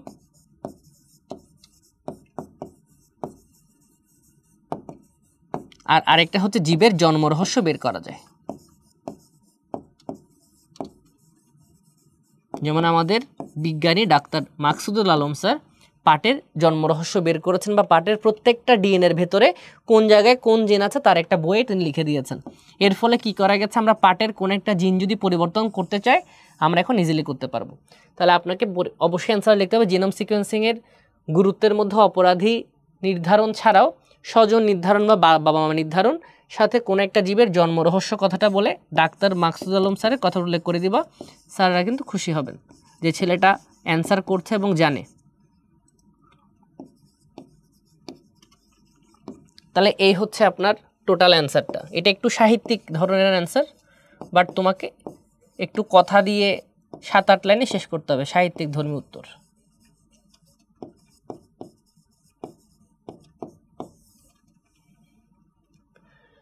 জহির সাহেব শিক্ষার্থীদের কাছে ইমিউন সিস্টেম নিয়ন্ত্রণকারী একটি হরমোনের কথা উল্লেখ করেছেন। মানে এখানে কথা বলা হচ্ছে ইন্টারফেরন আমরা এমসিকিউ ক্লাসে বারবার বলেছি। যখনই কোনো রোগ বালাই নিয়ে কথাবার্তা বলবে, তোমার মনে রাখতে হবে তুমি ইন্টারমিডিয়েটে পড়ো এবং তোমার লেভেলে রোগ প্রতিরোধকারী কোনো কথাবার্তা বললেই ইন্টারফেরনের কথা তোমাকে বলতে হবে। যা জি প্রযুক্তির মাধ্যমে মানে তোমাকে ইন্টারফেরন বানাইতে হবে, অবশ্যই তোমাকে এখানে আরডিটির কথা বলতে হবে। উদ্দীপকে উল্লিখিত হরমোনটির উৎপাদন প্রক্রিয়া ব্যাখ্যা করো। তাহলে সিম্পল কথা। জাস্ট তুমি ওখানে বলেছ ইনসুলিনের জন্য। ইনসুলিনের জন্য তুমি কি বলেছিলে? এগারো নম্বর ক্রোমোজোমের খাটো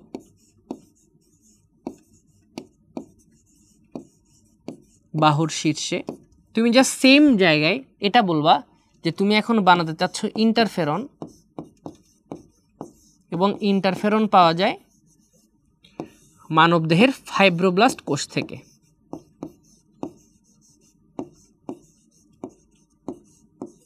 ফাইব্রোব্লাস্ট কোষের থেকে ইন্টারফেরন তৈরির জিনকে আলাদা করা হয়।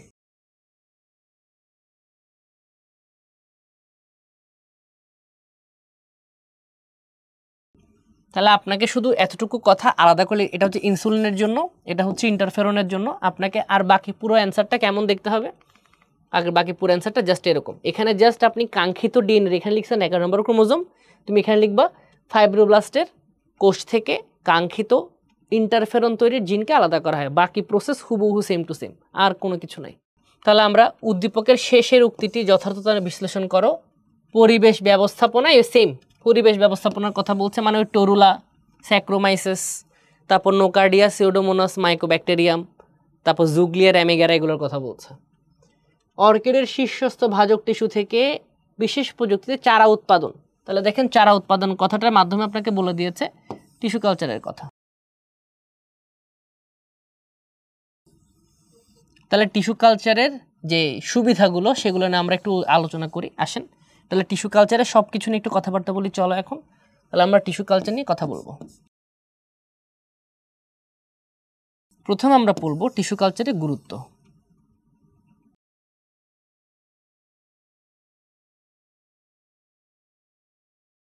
তাহলে টিস্যু কালচারের প্রথম যে গুরুত্ব বা অবদান তোমাকে মনে রাখতে হবে, এক, স্বল্প সময়ে চারা পাওয়া যায়। দুই, তুমি রোগ মুক্ত উদ্ভিদ জন্ম দিতে পারবা। যেসব উদ্ভিদ বিলুপ্ত হয়ে যাচ্ছে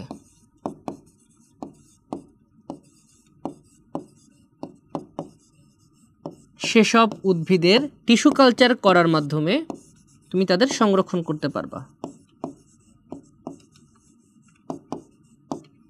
চার, যেসব উদ্ভিদের কোনো প্রকার বীজ হয় না, বীজহীন ফল, তাহলে আমরা সবাই জানি যে কোনো একটা উদ্ভিদ যদি তুমি সাধারণ, স্বাভাবিক প্রসেসে তার বাচ্চা তৈরি করতে যাও বা তার মতো উদ্ভিদ তৈরি করতে চাও সিম্পল হিসাব।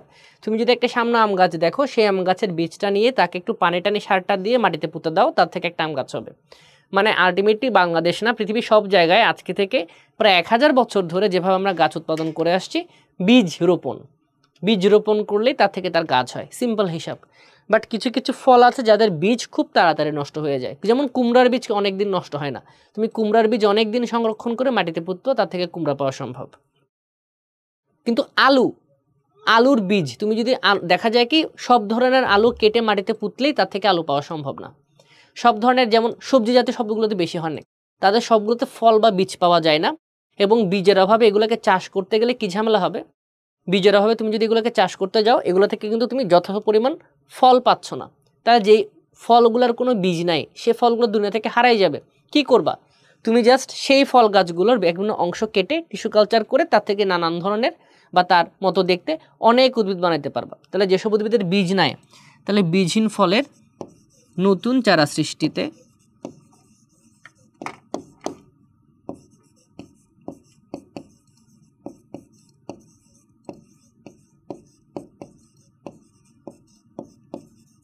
এর ভূমিকা বেশি।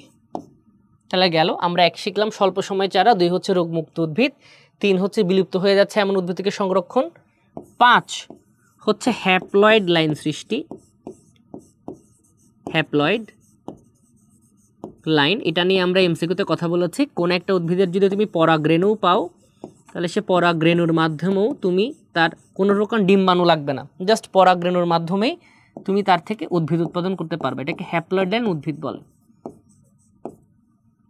আর লাস্টলি হচ্ছে ছয়, একটা পয়েন্ট তুমি অ্যাড করে দিতে পারো। যদি তোমাদের মনে থাকে, মনে থাকলে ভালো।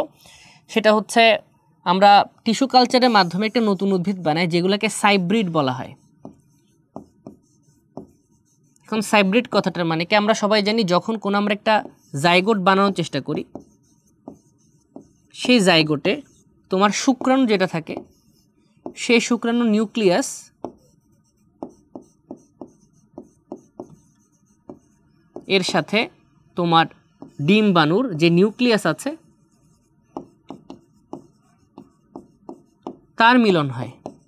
এবং এভাবে কিন্তু পৃথিবীর প্রত্যেকটা জীবের জন্ম হয়েছে। বাট তুমি যদি শুধুমাত্র কোনো একটা জীবের শুক্রাণুর, তার সাইটোপ্লাজম, এর সাথে ডিম্বাণুর শুধু সাইটোপ্লাজমের মিলন ঘটাও তাহলেও কিন্তু নতুন একটা উদ্ভিদ তৈরি করা সম্ভব, যেহেতু এখানে আমরা সাইটোপ্লাজমের মিলন ঘটাচ্ছি। তাই এগুলোকে সাইব্রিড বলা হয়, সাইব্রিড বলা হয়। এটা কিন্তু দুই নম্বরে প্রশ্ন আসতে পারে, যে সাইব্রিড বলতে কি বুঝো? যেমন এখানে একটা সাইব্রিড উদাহরণ, পটেটোর সাইটোপ্লাজম প্লাস টমেটোর সাইটোপ্লাজম। মানে আলু এবং টমেটো, এই দুইটার সাইটোপ্লাজম যুক্ত করে নতুন একটা উদ্ভিদ বানানো হয়েছে, যেটার নাম আমরা দিয়েছি পোমেটো। বাংলাদেশে এখনও হচ্ছে না বাট ইন্ডিয়াতে খুব বেশি পরিমাণে হচ্ছে টমেটোর চাষ। তাহলে টমেটো উৎপাদন করা হচ্ছে। তাহলে এটা সাইব্রিড তুমি যদি কয়েকটা লিখো, তাহলে তোমার টিস্যু কালচারের কৃষিক্ষেত্রে যে অবদান, সেগুলো তোমার পড়া হয়ে যাচ্ছে। এটা কিন্তু একদম গুছানো অ্যান্সার এর থেকে আমি কষ্ট করে লিখেও দিলাম একটা মাত্র কারণে, যাতে তোমাদের কোয়েশ্চেন ব্যাংক দেখে তোমাদের অনেক বড় অ্যান্সার দেখে ভয় না লাগে। খুব সিম্পল করে ছয়টা পয়েন্ট আমি আলাদা করে দিয়েছে। এখন আসে টিস্যু কালচারের সুবিধা। টিস্যু কালচারের সুবিধা ইজ ইকাল টু তার পার্থক্যটা পড়া। তাহলে এক মাতৃগুণ সম্পন্ন উদ্ভিদ তুমি তৈরি করতে পারছ।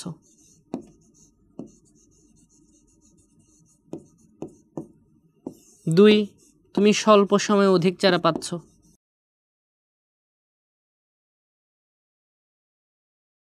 তিন তুমি রোগমুক্ত উদ্ভিদ পাচ্ছ। যেগুলো আমরা অলরেডি ব্যাখ্যা করে চলে আসছি। রোগমুক্ত উদ্ভিদ পেয়ে যাচ্ছ। চার, এটা যে কোনো মাঠ পর্যায়ে করা সম্ভব। পাঁচ, এটার জন্য খুব উন্নত প্রযুক্তির প্রয়োজন নাই। আর ছয়, এটা খুবই সরল একটা প্রক্রিয়া বা তুলনামূলক সরল প্রক্রিয়া। এগুলো তার সুবিধা। সাথে তুমি এখানে যে গুরুত্বগুলো আছে সেগুলো অ্যাড করে দিতে পারো। এটা তোমার চারে চার বা তিনে তিন কনফার্ম হয়ে যাবে। তাহলে আমাদের সবার যদি কখনো টিস্যু কালচার থেকে আর কখনো প্রশ্ন আসে যে টিস্যু কালচারের গুরুত্ব নিয়ে প্রশ্ন আসলো বা টিস্যু কালচারের অবদান নিয়ে প্রশ্ন আসলো, আমার মনে হয় এর বেশি তোমার জানার কোনো প্রকার প্রয়োজন নাই। দ্যাটস এনাফ তুমি যদি এতটুকু পারো। তাহলে আমার তোমার অনেক পড়াশোনা হয়ে গেছে বাবা। এর বাইরে তোমার কোনো পড়াশোনার প্রয়োজন নেই আর কি। এটাই মোর দেন এনাফ এখন আসেন, আমরা একটু যেখানে যাচ্ছিলাম, সেটা হচ্ছে আপনার দ্বিতীয় প্রযুক্তি চিকিৎসা ক্ষেত্রে বিশ্লেষণ। আমি বলেছি না যে আর ডিটি এর দুই ধরনের ব্যবহার পরীক্ষায় আসে। একটা তোমার আয়দার কৃষিক্ষেত্র নিয়ে বলবে, কৃষিক্ষেত্রে তার প্রয়োগ, যেটা আমরা পড়ে ফেলেছি অলরেডি অথবা তোমার চিকিৎসা ক্ষেত্র নিয়ে পরীক্ষায় প্রশ্ন আসতে পারে।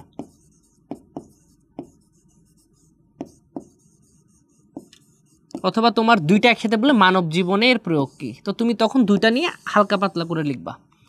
তাহলে আসেন আমরা একটা একটা করে পড়ি। ইনসুলিন উৎপাদন জেনেটিক ইঞ্জিনিয়ারিং আমরা সবাই জানি। ইন্টারফেরন উৎপাদন আমরা সবাই জানি, কিন্তু ইন্টারফেরন কিসের বিরুদ্ধে ব্যবহার করা হয়? মাথা রাখবেন ইন্টারফেরন ভাইরাসের বিরুদ্ধে ব্যবহার করা হয়। কি কি ভাইরাস আপনি এখানে লিখবেন হেপাটাইটিস বি হারপিস তারপর হচ্ছে আপনার জলাতঙ্ক। এগুলোর বিরুদ্ধে ব্যবহার করা হয়। টিস্যু প্লাজমিনোজেন অ্যাক্টিভেটার, আমরা এটা নিয়ে একটু পড়ি। টিস্যু প্লাজমিনোজেন অ্যাক্টিভেটারের কাজ কি? এটা দুই নম্বরের প্রশ্নের জন্য খুব গুরুত্বপূর্ণ, তাই এটা একটু আলাদা করে আমরা দেখি, চলেন। আমরা যখনই কোনো ধরনের হাত কাটি বা আমাদের থেকে রক্ত পড়ে, আমাদের একটা বেসিক সিনারিও ক্লিয়ার হয়ে গেছে। আমাদের অনুচক্রিকা যেটা আছে, সেটা যখনই ভেঙে যায় তার থেকে একটা পদার্থ নিঃসৃত হয়, সে পদার্থের নাম হচ্ছে থ্রম্বোপ্লাস্টিন। কি বের হয় তার থেকে? থ্রম্বো প্লাস্টিন তো থ্রম্বোপ্লাস্টিন হচ্ছে একটা ফ্যাক্টর এর মতো আরও তেরোটা ফ্যাক্টর আছে। তার মধ্যে চারটা খুব গুরুত্বপূর্ণ। সেই চারটা হচ্ছে ফুল পরে টুপ করে। ফুল ফাইব্রিনোজেন পরে প্রথম বিন, টুপ থ্রোমোপ্লাস্টিন এবং করে হচ্ছে ক্যালসিয়াম আয়ন। এই চারটার নাম মনে রাখা যে খুব বেশি গুরুত্বপূর্ণ, সেটা তোমাদের আগের থেকেই মোটামুটি জানা আছে। দেখুন নেক্সট কি হয়? যখন অনুচক্রিকা ভেঙে যায়, থ্রোমোপ্লাস্টিন আমরা সবাই বেসিকগুলো মোটামুটি জানি, কারণ রক্ত চ্যাপ্টার সবার ভালো করে পড়া। থ্রোমোপ্লাস্টিন হেপারিনকে অকেজো করে দেয়। হেপারিনকে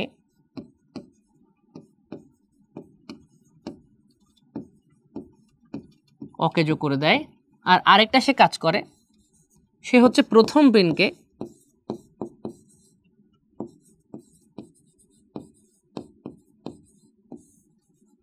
থ্রম্বিনে রূপান্তর করে। আর আমাদের থ্রম্বিন কি করে? আমাদের থ্রম্বিন হলো ফাইব্রিনোজেনকে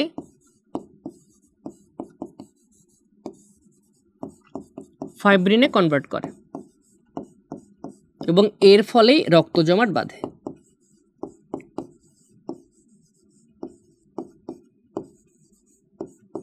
এটা তো ছিল স্বাভাবিক প্রক্রিয়া বাট যখন তোমার স্ট্রোক হয়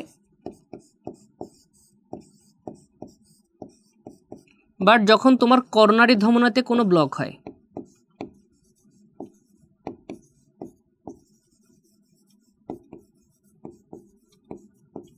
তখন কি ঘটনা ঘটে আমি একটু ভালো করে বলি।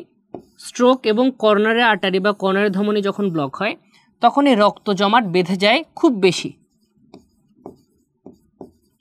এবং রক্ত জমাট এত বেশি বাঁধে যে তোমার পুরো রক্তনালী যেটা আছে, ধর এটা একটা রক্তনালী, এই রক্তনালীর পুরোটা জুড়ে রক্ত জমাট বেঁধে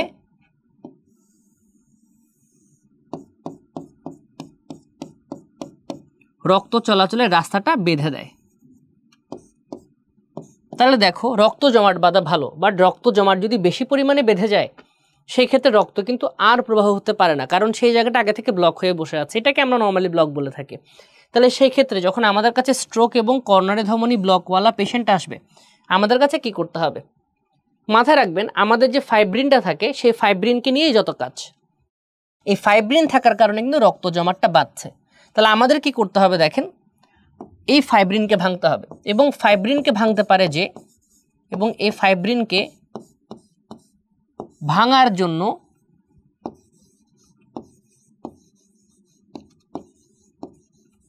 একটা পদার্থ দেখান তাহলে ফাইব্রিনকে ভেঙে ফেলতে হবে। ফাইব্রিনকে ব্রেকডাউন করতে হবে। ব্রেকডাউন করতে হবে। তাহলে ফাইব্রিনকে ভাঙার জন্য যেই পদার্থ দরকার, তার নাম হচ্ছে প্লাজমিন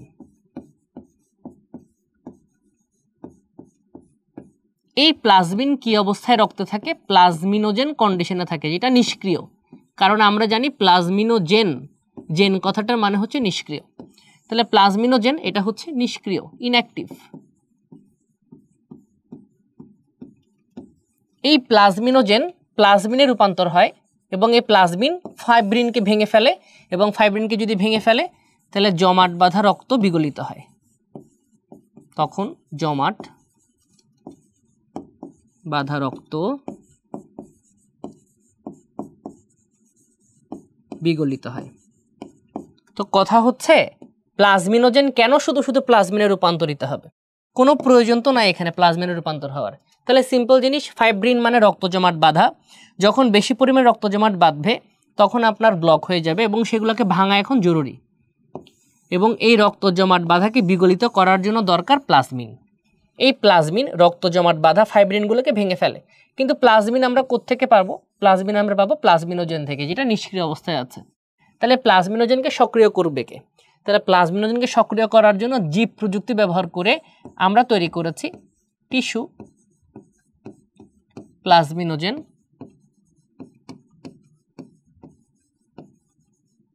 অ্যাক্টিভেটর যেটাকে সংক্ষেপে বলা হয় টি টিপিএ এই টিপিএ যখন কোন একটা স্ট্রোকের পেশেন্টকে পুশ করে দেওয়া হয়, তখন এই টিপিএ এসে প্লাজমিনোজেনকে প্লাজমিনে রূপান্তর করে। আর এই প্লাজমিনটা ফাইব্রিনকে ভেঙে রক্ত জমাট বাধাকে বিগলিত করতে পারে। দুই নম্বরের প্রশ্নে কিন্তু প্রায় সময় আসে টিপিএ কীভাবে সাহায্য করে থাকে? তখন তোমাকে কিন্তু এই ফাইব্রিন ভাঙার গল্পটা বলতে হবে। পরীক্ষার জন্য এটা কিন্তু খুব গুরুত্বপূর্ণ। How tissue plasminogen activator works এরপর আসেন এরিথ্রোপয়েটিন তৈরি। আমরা সবাই জানি কিডনি এরিথ্রোপয়েটিন তৈরি করতে পারে। কিডনি এরিথ্রোপয়েটিন তৈরি করার আধার বাট যাদের রেনাল ডিজিজ হয় বা যাদের কিডনি নষ্ট হয়ে গেছে, তাদের কিন্তু এরিথ্রোপয়েটিন তৈরি হয় না। এরিথ্রোপয়েটিন কেন দরকার বাবা? সবার তো আগে এটা বোঝা উচিত। আমাদের আরবিসি তৈরি করার একটা মাত্র উদ্দীপনা যদি শরীরে থাকে, সেটা হচ্ছে এরিথ্রোপয়েটিন যদি কারও শরীরে এরিথ্রোপয়েটিন না থাকে, আমাদের অস্থিমজ্জা জানবেই না যে তোমার আরবিসি তৈরি করা দরকার। তো লোকটা একসময় আরবিসির অভাবে মারা যাবে। এখন ধরো যার রেনাল ডিজিজ বা যার কিডনি নষ্ট হয়ে গেছে, তার শরীরে তো কোনো প্রকার এরিথ্রোপয়েটিন নাই, তাহলে তার শরীরে আরবিসি প্রোডাকশন বা আরবিসি তৈরি করা বন্ধ হয়ে যাবে। সেই ক্ষেত্রে সে চাইলে জীব প্রযুক্তির মাধ্যমে তৈরি করা এরিথ্রোপয়েটিন পুশ করলে তার রেনাল ডিজিজ থাকলেও তার শরীরে আরবিসি প্রোডাকশন অব্যাহত থাকবে। তাহলে আপনাকে কিন্তু এত কথা বলার দরকার নাই। তুমি শুধু পয়েন্টগুলোকে উল্লেখ করবা। যে ইনসুলিন উৎপাদন এক লাইন ইন্টারফেরন কোথেকে উৎপন্ন করা হয় ফাইব্রোব্লাস্ট এই কথাটা বলবা। বলার পর বলবা কোন কোন রোগের এগেনস্টে কাজ করে, আমি রোগগুলোর নাম ওখানে লিখে দিয়েছি। এরপর জাস্ট টিস্যু প্লাজমিনোজেন অ্যাক্টিভেটারের সাহায্যে হার্ট অ্যাটাক মানে যেটাকে আমরা বলছিলাম করোনারি আর্টারি ব্লক বা স্ট্রোকের পেশেন্টগুলোর রক্ত বিগলিত করা হয় বা ব্লক বিগলিত করা হয়, এই লাইনটা লিখতেই হবে it is very much important আর লাস্টে বলতে হবে এরিথ্রোপয়েটিনের সাহায্যে আর আরবিসি উৎপাদন ত্বরান্বিত করা হয়। আর আরবিসি উৎপাদন ত্বরান্বিত করা হয়। জিন থেরাপি এটা নিয়ে তোমার খুব বেশি লেখার দরকার নাই, তুমি শুধু হেডলাইনটা লিখবা, তোমার তাতেই হবে। গর্ভের শিশু পরীক্ষা শুধুমাত্র হেডলাইন লিখবা তাতেই হবে। এই সবগুলোতে যাওয়ার কোনো দরকার নাই, এগুলো কোনো প্রয়োজন নেই, ঠিক আছে? এনজাইম উৎপাদন শুধুমাত্র পয়েন্টটা লিখবা এবং বায়োফার্মিং শুধুমাত্র পয়েন্টটা লিখবা অনলি পয়েন্টস এগুলোতে শুধুমাত্র পয়েন্ট ডিসকাশন করলেই হবে, এগুলোতে অনলি পয়েন্টস লিখবা। তাহলে তোমাকে একটু বর্ণনা আকারে লিখতে হবে, প্রথম এই চারটা বাট পরের যেগুলো আছে সেগুলো তুমি শুধুমাত্র পয়েন্ট আকারে লিখলে মোর দেন এনাফ তুমি চারে চার পেয়ে যাচ্ছ। তাহলে পরীক্ষায় যদি প্রশ্ন আসে পরীক্ষায় প্রশ্ন আসতে পারে এভাবে আর ডিটির মানব জীবনে ব্যবহার লিখো, তখন বিভাগ করে ফেলবা। কৃষিক্ষেত্র নিয়ে চার পাঁচটা লাইন, চিকিৎসা ক্ষেত্র নিয়ে চার পাঁচটা লাইন। বাট যদি কখনো কৃষিক্ষেত্র আসে, সেক্ষেত্রে কৃষিক্ষেত্রে পাঁচটা পয়েন্ট যেভাবে ব্যাখ্যা করে আমি পড়েছি, পাঁচটা পয়েন্ট ব্যাখ্যা লিখবা। আর যদি চিকিৎসা ক্ষেত্রে শুধুমাত্র আসে, চিকিৎসা ক্ষেত্রে প্রথম চারটা পয়েন্ট ব্যাখ্যা করবা, পরের চারটা পয়েন্ট শুধুমাত্র পয়েন্ট লিখবা। That's more than enough but এর মধ্যে যেটা গুরুত্বপূর্ণ, সেটা হচ্ছে পরীক্ষায় প্রায় সময় আসে ইন্টারফেরনের ব্যবহারগুলো লিখো। ওয়ান, তখন তোমাকে ফাইব্রোব্লাস থেকে ইন্টারফেরন আসে। আরডিটির মাধ্যমে তুমি ইন্টারফেরন বানাও। এটা তোমাকে হেপাটাইটিস বি হারপিস জলাতঙ্ক থেকে মুক্ত করে। ভাইরাসের যে কোনো আক্রমণ থেকে তোমাকে বাঁচায়। ইন্টারফেরনের চাহিদা অনেক বেশি। ক্যান্সারের বিরুদ্ধে ব্যবহার করা হচ্ছে কথাগুলো বলতে হবে। আর যদি কখনো তোমাকে টিপিএ টিস্যু প্লাজমিনোজেন অ্যাক্টিভেটার নিয়ে কথা বলতে বলে, তখন কিন্তু শুধু গল্প লিখলে হবে না, আপনাকে কিন্তু এটা অবশ্যই দেখাতে হবে। যে ফাইব্রিন জালকের মাধ্যমে আপনার প্রচুর পরিমাণে রক্ত জমাট বাঁধে হার্ট অ্যাটাক এবং স্ট্রোকের পেশেন্টের যখন কোনো জায়গায় ব্লক হয়ে যায়, সেই জায়গা দিয়ে রক্ত প্রবাহ আর হয় না। তোমার সেই ব্লকগুলোকে ভাঙতে হবে। ভাঙার জন্য তোমার দরকার প্লাজমিন কিন্তু আমাদের রক্তে প্লাজমিন তো থাকে না। রক্তে থাকে প্লাজমিনোজেন তাহলে প্লাজমিনোজেনকে তো অ্যাক্টিভ করতে হবে। এই জন্য আমরা জীব প্রযুক্তি বা রিকম্বিনেন্ট ডিএনএ টেকনোলজি ব্যবহার করে বানিয়েছি tissue plasminogen activator tissue plasminogen activator, প্লাজমিনোজেনকে সক্রিয় করে প্লাজমিন বানায়। প্লাজমিন পরবর্তী সময়ে ফাইব্রিনকে ভেঙে রক্তের ব্লককে বিগলিত করে দেয় এবং এভাবে রোগীগুলোকে বাঁচানো সম্ভব হয়। এটা কিন্তু বাংলাদেশে সবথেকে কমনলি প্র্যাকটিসড একটা জিনিস। হার্ট অ্যাটাকের পেশেন্টকে এগুলো দিয়ে কিন্তু ছয় ঘণ্টা, সাত ঘণ্টা পরের মধ্যে বাঁচানো সম্ভব হয়। নাহলে কিন্তু রোগীরা মারাই যাবে। হার্ট অ্যাটাক হয়েছে ধরেন ninety ninety seven percent block মারা যাবে সুনিশ্চিত। শুধুমাত্র একটি ইঞ্জেকশন দিয়ে তাকে বাঁচানো সম্ভব। তো রক্ত নিলে আমরা খুলে দিব। এটা খুবই খুবই গুরুত্বপূর্ণ, ভালো করে পড়তে হবে। এটা দুই নম্বরের প্রশ্ন আসবে। তাহলে এখান থেকে শুধু পয়েন্টগুলো আমরা আলোচনা করছি। এখন বাকি যে প্রশ্নগুলো আমার কাছে আসবে সেই প্রশ্নগুলো অলরেডি তুমি অ্যান্সার জানো, আমরা জাস্ট অ্যান্সারগুলো ধরাই দিব। তাহলে আসো। উদ্দীপকে উল্লিখিত বিচিত্রের বৈশিষ্ট্যসমূহ মানে প্লাজমিডের বৈশিষ্ট্যসমূহ তোমাকে আলোচনা করতে বলেছে। তাহলে সিম্পল কথা, তুমি এমসিকিউ ক্লাস যদি করে চলে আসো, তোমাকে প্লাজমিড নিয়ে কথা বলতে হবে। এক প্লাজমিড দ্বিসূত্রক। মানে এর দুইটা সুতা থাকে। দুই, এটা বৃত্তাকার। দেখতে বোঝা যাচ্ছে। এটা ছোট হয়। এটার মধ্যে জিনের সংখ্যা কম।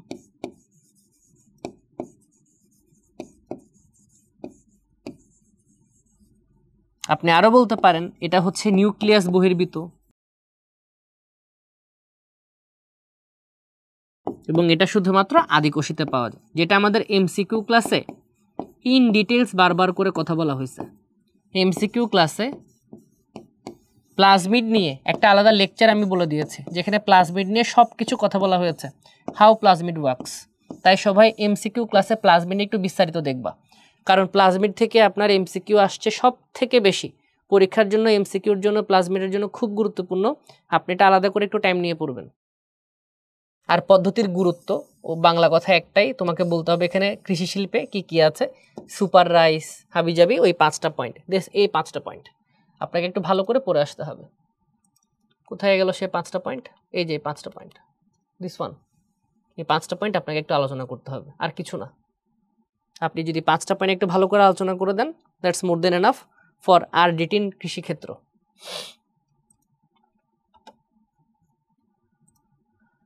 এখন আসেন, আমরা চলে যাব ডক্টর জেসমিন জৈব প্রযুক্তি সম্পর্কে আলোচনা করতে গিয়ে তিনি এমন একটি আদিকোষ অনুজীব মানে দেখেন, আবারও এখানে একটাই কথা বলছে অনুটির জৈব প্রযুক্তির ভূমিকা বর্ণনা করো। মানে এখানে তোমাকে জাস্ট বলছে আর ডিটি কীভাবে হয়। মানে আর ডিটির পদ্ধতি তোমাকে এখানে ব্যাখ্যা করতে বলছে। মানে প্লাজমিডের সাহায্যে কীভাবে রিকম্বিনেন্ট ডিএনএ টেকনোলজি করা হয়, যেটা আমাদের প্রথম প্রশ্নের উত্তর ছিল। যেটা আমাদের প্রথম প্রশ্নের উত্তর ছিল। যেখানে আমরা ইনসুলিন বানিয়েছিলাম সেই প্রশ্ন উত্তরটা এখানে আবার রিপিট হবে। মানে প্রশ্ন করা সম্ভব নেই চ্যাপ্টার থেকে বাইরে। দেখেন ডাক্তার এক্স গবেষণা করে বীজ ছাড়া একটা অসংখ্য চারা তৈরি করলেন মানে আবার টিস্যু কালচার আর ডাক্তার ওয়াই বি উদ্ভিদে বিটা ক্যারোটিন আর আয়রন তৈরি জিন সংযুক্ত করেছেন মানে আর ডিটি বলেছে কৃষির উন্নয়নে এই উদ্ভিদের প্রযুক্তির ব্যবহার লিখো। তাহলে আমরা অলরেডি পড়ে ফেলেছি টিস্যু কালচারের গুরুত্ব। আমরা টিস্যু কালচারের গুরুত্ব অলরেডি আলোচনা করে ফেলেছি। এক আর একটা হচ্ছে বি উদ্ভিদের ক্ষেত্রে, প্রযুক্তিটি বর্তমান চিকিৎসা ক্ষেত্রে এবং অপরাধ দমনে। তাহলে দেখেন, চিকিৎসা ক্ষেত্রে আমরা পাঁচটা পয়েন্ট কথা বলেছি এবং অপরাধ দমন বলতে বলা হচ্ছে কিনা জিনোম সিকুয়েন্সিং এর অ্যান্সারটা তাহলে দেখেন, প্রশ্ন কত সোজা হয়ে গেছে। আপনাকে শুধু কয়েকটা জিনিসই জানতে হচ্ছে দিন শেষে। ডাক্তার সোহেল গবেষণাগারে একটা বিশেষ পদ্ধতির আলুর মুকুল থেকে অনেকগুলো চারা বানানো টিস্যু কালচার। দেখেন, আলুর মুকুল। দ্যাট মিনস টিস্যু কালচার, অনেকগুলো চারা বানিয়েছে মানে টিস্যু কালচার। আর এখানে মিজান সাহেব বিটা ক্যারোটিন এবং আয়রন উৎপাদন করে জিনিস সমৃদ্ধ ভুট্টার জাত বানিয়েছে। মানে সুপার ভুট্টা বানাইছে উনি একটা। উদ্দীপকে উল্লিখিত আলুর চারা কীভাবে তৈরি করা সম্ভব? এর মানে টিস্যু কালচারের পদ্ধতি। Tissue culture. আর উদ্দীপকে উল্লিখিত ডাক্তার মিজানের প্রযুক্তির সম্ভাবনা ব্যাখ্যা কর। মানে এখানে আপনার আর ডিটি এর গুরুত্ব বলতে বলেছে। আর ডিটি এর গুরুত্ব, যে এই আর ডিটির মাধ্যমে কীভাবে জীবজগৎ বদলা যাচ্ছে। তাহলে দেখেন, আমি যে আপনাকে স্লাইডের একদম শুরুতে ফার্স্ট স্লাইডে একটা কথা লিখে দিয়েছিলাম। চারটা টপিক আপনি কোনোভাবে শেষ করার মতো যোগ্যতা রেখেছেন মানে এই চ্যাপ্টারের প্রত্যেকটা স্লাইড আপনি ইজিলি পারবেন। সিম্পল ব্যাপার। দেখেন, আবার প্লাজমিডের ছবি, উল্লিখিত এ তৈরির ধাপগুলো বর্ণনা করো। মানে এখানে তোমাকে আবার বলছে আর ডিটি এর স্টেপ, আর ডিটি এর পদ্ধতিগুলো ব্যাখ্যা করো। এবং উদ্দীপকে উল্লিখিত পদ্ধতিটি প্রয়োজনীয় জৈব উপস্থাপনে গুরুত্বপূর্ণ ভূমিকা রাখে। মানে তোমাকে আর ডিটি এর গুরুত্ব ব্যাখ্যা করতে বলছে। কেন প্রশ্নগুলো বারবার আপনাকে দেখাচ্ছি? দেখানোর একটা, আমি কিন্তু বলে দিতে পারতাম বলে দেখে নাও। বাট তোমাকে আমি প্রশ্নগুলো দেখাচ্ছি একটা মাত্র কারণে টপিক বারবার রিপিট হচ্ছে। একই টপিক একই অ্যান্সার বাট আলাদা আলাদা প্রশ্ন। জিন প্রকৌশলে এস এর ভূমিকা পালন করো। তাহলে তোমাকে আবার এখানে বলছে, আর ডিটির সাথে প্লাজমিডের সম্পর্ক কোথায়? মানে আবার ইনসুলিনের কথাগুলো বলতে হবে। ইনসুলিনের ছবিটা মানে এক নাম্বার প্রশ্ন। আর ডিটিতে প্লাজমিডের ভূমিকা। এর মানে হচ্ছে তোমাকে আবার পদ্ধতি নিয়ে কথা বলতে হবে। উদ্দীপকে প্রদর্শিত অণুটির গঠনগত পরিবর্তন করে মানব জীবনে কি কল্যাণ করা যায়? মানে দেখেন, আবার প্রশ্ন। গঠনগত পরিবর্তন কথার মানে হচ্ছে রিকম্বিনেন্ট ডিএনএ টেকনোলজি এবং এটা মানব কল্যাণে কি ব্যবহারে আসে, তোমাকে দুইটা পয়েন্ট উল্লেখ করতে হবে। একটা কৃষি, একটা চিকিৎসা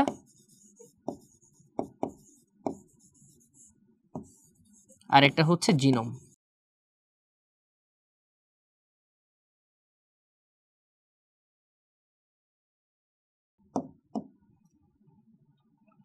আণবিক কাছি ব্যবহার করে মানে আমরা লাস্ট ক্লাস অনুসারে এটা রেস্ট্রিকশন নিউক্লিয়াস বা রেস্ট্রিকশন এনজাইম যেটা আমরা আরডিটির পদ্ধতিতে পড়ে আসছি রেস্ট্রিকশন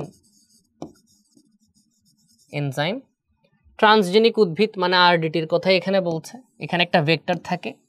মানে ওই একই প্রশ্ন দেখেছেন? একটি প্রশ্ন বারবার তারা চেঞ্জ করছে, এটা আইডিয়াল স্কুলের প্রশ্ন প্লাজমিডের কথা। ভেক্টরের বৈশিষ্ট্যগুলো লেখো। এর মানে আমরা এতক্ষণ ধরে প্লাজমিডের যে বৈশিষ্ট্যগুলো পড়ে আসছি দিস ওয়ান দিস প্রশ্ন। কোথায় গেল? এই যে, এই প্রশ্নটা এই প্রশ্নটা আবার রিপিট হয়েছে। দেখেন কতবার এক প্রশ্ন রিপিট হচ্ছে। আইদার প্লাজমিড কেমন বলো, অথবা আরডিডিতে প্লাজমিডের ভূমিকা বলো।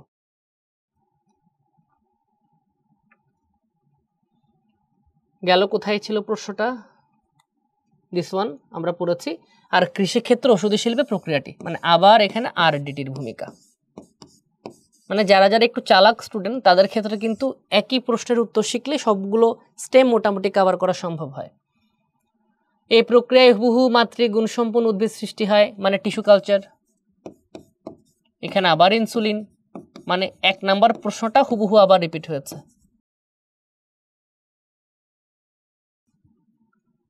আবার রিকম্বিনেন্ট ডিএনএ টেকনোলজি উদ্দীপত প্রকৃতির ইনসুলিন তৈরির প্রক্রিয়া ব্যাখ্যা করো। মানে আবারও আরডিটি এখানে আসছে। সুপার রাইস তৈরিতে সফল ব্যবহার সম্পর্কে লিখো। মানে এখানে তোমার কৃষি ক্ষেত্রে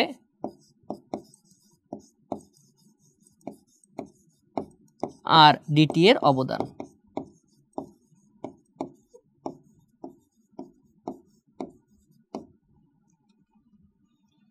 কিউ প্রযুক্তি ব্যবহার করে কীভাবে ইনসুলিন তৈরি করা সম্ভব?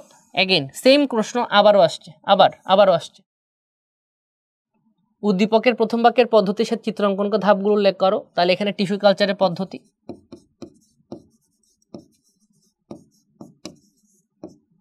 আর দ্বিতীয় বাক্যের হরমোনটির উৎপত্তি স্থল উল্লেখ করে হরমোনটির উৎপাদন কৌশল মানে এক নম্বর প্রশ্নের উত্তর, যেখানে ইনসুলিন নিয়ে কথা বলা হয়েছে। ইনসুলিন তৈরি।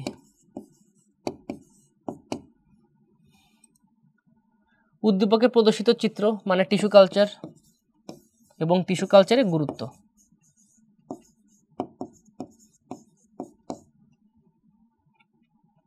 সেম ইনসুলিন তৈরির প্রক্রিয়াটা ব্যাখ্যা করো। উন্নয়নশীল দেশের জন্য কতটুকু উপযুক্ত? মানে আবার গুরুত্ব ব্যাখ্যা করো। তাহলে দেখছ, তুমি যখন অনুজীব পড়তে যাবে না, তখন তোমার অনুজীব কোষ রসায়ন এগুলো থেকে বা অনুজীব চ্যাপ্টার থেকে তোমার টিস্যু এবং টিস্যুতন্ত্রের চ্যাপ্টার থেকে তোমার ভ্যারাইটিস অফ কোয়েশ্চেন করা সম্ভব। মানে তুমি এক যেমন শারীরতত্ত্ব শারীরতত্ত্ব একটা চ্যাপ্টার থেকে পনেরো থেকে বিশ টাইপের প্রশ্ন বানানো সম্ভব। ঝামেলা কোথায় হয়? ঝামেলা এই জায়গাগুলোতে হয়, আমরা যখন বড় চ্যাপ্টারগুলো পড়ি, সেগুলো পড়ার সময়ে আপনার অনেক ভ্যারাইটিস থাকে এবং এর ফলে অনেকগুলো ভ্যারাইটিসের সাপোজ আমি খুব সিম্পল একটা এক্সাম্পল দিই। আমার এইচএসসি পরীক্ষার সময় আমরা সবাই সি থ্রি পড়ে গিয়েছিলাম। সি থ্রির প্রক্রিয়া। কারণ গত কয়েক বছর ধরে চট্টগ্রাম বোর্ডে সি থ্রি সি থ্রি আসছিল। আমরা কেউ সি ফোর পড়ি না কারণ সি ফোর চট্টগ্রাম বোর্ডে দশ বছর ধরে আসে নাই। তা আমরা কেউ সি ফোর পড়ি না আমরা শুধু সি থ্রি ভালো করে পড়ে গিয়েছিলাম। কিন্তু পরীক্ষা সে সি ফোর, এবং সবাই প্রশ্ন ধরতেও পারে না একটা প্রশ্ন একদম ইজি মিস তোমার জীব প্রযুক্তি চ্যাপ্টার কিন্তু ব্লেসিংস কেন? কারণ এই চ্যাপ্টারে তুমি যদি পাঁচটা থেকে চারটা চারটা টপিক পাঁচটা টপিক আমি বলি না, চারটা টপিক কারণ প্লাজমিডের ব্যবহার তোমার আলাদা করে পড়ার দরকার নাই। এটা এমসিকিউ বা কলেজ তোমাকে খুব ভালো করে শেখায়। চারটা ব্যবহার বা চারটা প্রশ্ন তো তুমি ভালো করে পারো। তোমার এইচএসসি পরীক্ষায় দুইটা সিকিউ কমন অ্যাটলিস্ট একটা বাট ম্যাক্সিমাম টাইম দুইটা সিকিউ জীব প্রযুক্তি মিলেই হয়ে থাকে। এরপর আমরা আসি পরের কোয়েশ্চেন ইন্টারফেরন কি? আমরা আলোচনা করে ফেলেছি ফাইব্রোব্লাস্টের কথা। সেখান থেকে ভাইরাস বিরোধীর কথাগুলো আলোচনা করেছি। জিনোম কি? আমরা আলোচনা করেছি। প্লাজমিড কি? আমরা আলোচনা করেছি। এক্সপ্ল্যান্ট কি? মাতৃ উদ্ভিদ থেকে আলাদা করা সেই টিস্যু কালচারের গুচ্ছকে এক্সপ্ল্যান্ট বলা হয়। ট্রান্সজেনিক প্ল্যান কি? রিকম্বিনেন্ট ডিএনএ টেকনোলজির সাহায্যে যে নতুন উদ্ভিদ তৈরি করা হয়, তাকে ট্রান্সজেনিক বলা হয়। আমরা কিন্তু এগুলো অলরেডি আলোচনা করে ফেলেছি, শুধু একটা ছবির ভেতরে। ইনভিট্রো কালচার কি? এটাকেই বলা হয় টিস্যু কালচার তাহলে টিস্যু কালচারের অপর নাম কি? ইনভিট্রো কালচার যেই প্রক্রিয়ায় কোনো একটি পাত্রের ভেতরে নতুন চারাগাছ উৎপাদন করা সম্ভব, সেই কালচারকে বলা হয় ইনভিট্রো কালচার পিসিআর কি? লাস্ট ক্লাসে আমরা এমসিকিউতে পড়েছি। পলিমারেজ চেইন রিয়াকশনকে পিসিআর বলা হয়। জিনোম সিকোয়েন্সিং কি? যেই প্রক্রিয়ায়, আমরা কিন্তু বারবার এগুলো তিন নম্বরের প্রশ্ন পড়েছে, যেই প্রক্রিয়ায় আপনি কোন একটা ডিএনএতে থাকা, নিউক্লিওটাইডের সারিগুলো শনাক্তকরণে সম্ভব হন, সেটাকে আপনি বলছেন জিনোম সিকোয়েন্সিং আবার ট্রান্সজেনিক প্রাণী বলতে কি বোঝো? রিকম্বিনেন্ট টেকনোলজির সাহায্যে যদি কোনো নতুন বৈশিষ্ট্যের প্রাণী আপনি উদ্ভাবন করেন, তার নাম ট্রান্সজেনিক প্রাণী। আবার জিনোম সিকোয়েন্সিং বলতে কি বুঝো? একই প্রশ্ন আবারও আসছে। রেস্ট্রিকশন এনজাইম বলতে কি বুঝো? তখন তোমাকে রেস্ট্রিকশন এনজাইমের একটু কথাগুলো বলতে হয়। যে রেস্ট্রিকশন এনজাইম একটি ডিএনএর নির্দিষ্ট খণ্ড কেটে ফেলতে সক্ষম হয়, তাকে আণবিক ছুরি বা বায়োলজিক্যাল নাইফও বলা হয় এবং তিনটা রেস্ট্রিকশন এনজাইম আমরা পড়েছি। হাইন্ড থ্রি এ কথাগুলো উল্লেখ করতে পারেন। Hind three BAM HI eco RI আপনি এই কথাগুলো কিন্তু তখন আলোচনা করতে পারেন। এগুলো খুব সোজা এবং সিম্পলিস্টিক অ্যাপ্রোচ আবাদ মাধ্যম বলতে কি বোঝানো হয়? মানে কালচার মিডিয়াম বলতে কি বোঝানো হয়? এই কথাগুলো বলা হয়েছে। তাহলে কালচার মিডিয়াম নিয়ে আমরা কিন্তু এমসিকিউ ক্লাসে বিস্তারিত কথা বলেছি। যেখানে আমরা একটা কথা বারবার করে বলেছি সুক্রোজ এখানে ব্যবহার করা হয় চার পার্সেন্ট জমাট বাঁধার জন্য ব্যবহার করা হয় এগার এগার। বৃদ্ধির জন্য এখানে ব্যবহার করা হয় ফাইটো হরমোন পিএইচ রাখা হয় ফাইভ পয়েন্ট ফাইভ থেকে ফাইভ পয়েন্ট এইট এগুলোই হচ্ছে আবাদ মাধ্যম। যে মাধ্যমে একটি এক্সপ্ল্যান্টের বৃদ্ধি বা নতুন চারা তৈরি করা হয়, তাকে আবাদ মাধ্যম বলা হয়। এই আবাদ মাধ্যমে পুষ্টির জন্য চার পার্সেন্ট সুক্রোজ পুষ্টি মাধ্যমকে জমাট বাঁধানোর জন্য এগার এগার ব্যবহার করা হয় এগার এগার ব্যবহার করা হয়। বৃদ্ধির জন্য ফাইটো হরমোন ব্যবহার করা এবং পিএইচ হিসেবে ফাইভ পয়েন্ট ফাইভ থেকে ফাইভ পয়েন্ট এইট ব্যবহার করা হয়। অপরাধী শনাক্তকরণে জিনোম সিকোয়েন্সিং দেখেন, তিন নম্বরের প্রশ্নটাই এখানে দুই নম্বরে দিয়ে দিয়েছে। জিন ক্লোনিং বলতে কি বুঝো? যেই প্রক্রিয়ায় তুমি একই ধরনের বৈশিষ্ট্য সম্পন্ন নতুন প্রাণী তৈরি করতে সক্ষম হও, তাকে জিন ক্লোনিং বলা হয়। জিন ক্লোনিংয়ের সাহায্যে দেহের বাইরে শুক্রাণু এবং ডিম্বাণুর মিলন ঘটানো সম্ভব। আমরা ডলি নামক একটা ভেড়ার জন্ম দিয়েছি। এই তিন চারটা কথা সেখানে উল্লেখ করতে হয়। ইন্টারফেরন বলতে কি বুঝো? এই টিপিএ বলতে কি বুঝো? এটা কিন্তু পরীক্ষার জন্য খুব গুরুত্বপূর্ণ, যেটা আমি আপনাদেরকে অলরেডি দেখিয়েছি একবার। ফাইব্রিন ফাইব্রিন থেকে ভেঙে ফেলতে হবে প্লাজমিনোজেন টিস্যু প্লাজমিনোজেন অ্যাক্টিভেটর এবং প্লাজমিন প্লাজমিডকে ভেক্টর কেন বলা হয়? কারণ প্লাজমিডের মধ্যে নতুন একটা জিনকে বহন করানো সম্ভব। যেহেতু প্লাজমিড নতুন একটা জিনকে বহন করতে পারছে, তাই আপনি এটাকে বাহক বা ভেক্টর বলছেন। সোজা উত্তর সাথে একটা ছবি। তো দেখেন, আপনাদের যে টোটাল সিনারিও নিয়ে আমরা কথা বললাম, এই টোটাল সিনারিও নিয়ে আপনারা, আমি আবারও বলছি, যারা যারা ক্লাসের শুরু থেকে ছিলা, তারা যদি ক্লাসের এতটুকু পোর্শন জাস্ট ক্লাসের যদি এই অংশটুকু ফর তিন নম্বর এবং চার নম্বরের প্রশ্নের জন্য তোমরা যদি ফলো করো, তাহলে সব কমন পাবা। এবং এমসিকিউ থেকে তোমাদের এক নম্বরের প্রশ্নগুলো কাভার হয়ে যাবে। জাস্ট এতটুকু তোমরা যদি কোনোভাবে পড়তে পারো, আমার মনে হয় না এই চ্যাপ্টারে আর কোনো প্রকার ডাউট থাকার কথা। তাহলে এই হলো আমাদের আজকের চ্যাপ্টার আমরা এতটুকু পড়েছি। তাহলে আমি আবারও বলছি আপনাদের জন্য এই স্লাইডটা খুব গুরুত্বপূর্ণ। This is very much important এটা খুব গুরুত্বপূর্ণ, কারণ এর প্রসেসটা বারবার আসছে। এরপর আপনার আসছে টিস্যু কালচার এবং এই আরডিটির মধ্যে ডিফারেন্সটা কোথায়?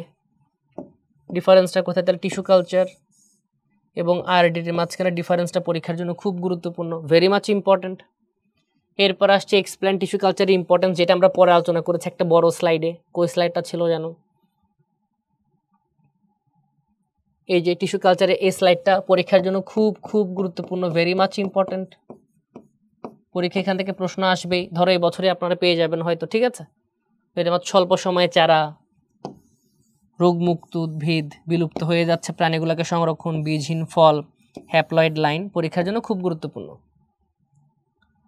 তাহলে আপনারা যদি শুধু আজকের ক্লাস একটু ভালো করে শুধু স্লাইডটাও পড়ে, আমার মনে হয় না এইচএসসি পরীক্ষায় আপনার কোনো ধরনের প্রশ্ন মিস করার সম্ভাবনা আছে আর কি। দ্যাটস মোর দেন এনাফ আপনি যদি এতটুকুই পারেন, আমার মনে হয় না কোনো প্রকার ডাউট থাকার আর চান্স আছে। তাহলে আমরা আজকের ক্লাস এতটুকুই রাখি। বেস্ট অফ লাক দেখা হবে। এবং best of luck for HSC কারণ এটা আপনাদের মোটামুটি last chapter for one shot best of luck লেগে থাকেন একটু, দেখবেন এইচএসসি পরীক্ষা ভালো হচ্ছে এবং অ্যাডমিশন টেস্টও সমানভাবে শেষ হয়ে যাচ্ছে। তাহলে আপনাদের সাথে এটাই আমাদের লাস্ট ওয়ান শট ছিল। বায়োলজির থেকে আর কোনো ওয়ান শট মোটামুটি বাকি নেই। এটাই আমাদের লাস্ট ফিনিশিং ছিল। এতটুকু পড়লে আমার মনে হয় না জীব প্রযুক্তি তার কোনো প্রকার প্রশ্ন মিস করার চান্স আছে। ব্লেসিং চ্যাপ্টার সবার আগে পড়া ভালো। আমি জীব প্রযুক্তি সব থেকে ভালো পারতাম, কারণ আমি জানতাম এখান থেকে একটা প্রশ্ন মাস্টার আসবে। ভালো থাকবেন, সুস্থ থাকবেন, দোয়া রাখবেন। আর অবশ্যই পড়াশোনা ছাড়া যাবে না, ঠিক আছে? কিউএনএ ব্যবহার করবা, কোনো প্রকার ডাউট থাকলে। আর অবশ্যই মডেল লিস্টে সবগুলো পরীক্ষা দেওয়ার চেষ্টা করবা। নাম্বার কম আসলে কোনো সমস্যা নাই, কিন্তু পরীক্ষা অ্যাটেন্ড করো। ভালো থাকো, সুস্থ থাকো বেস্ট অফ লাক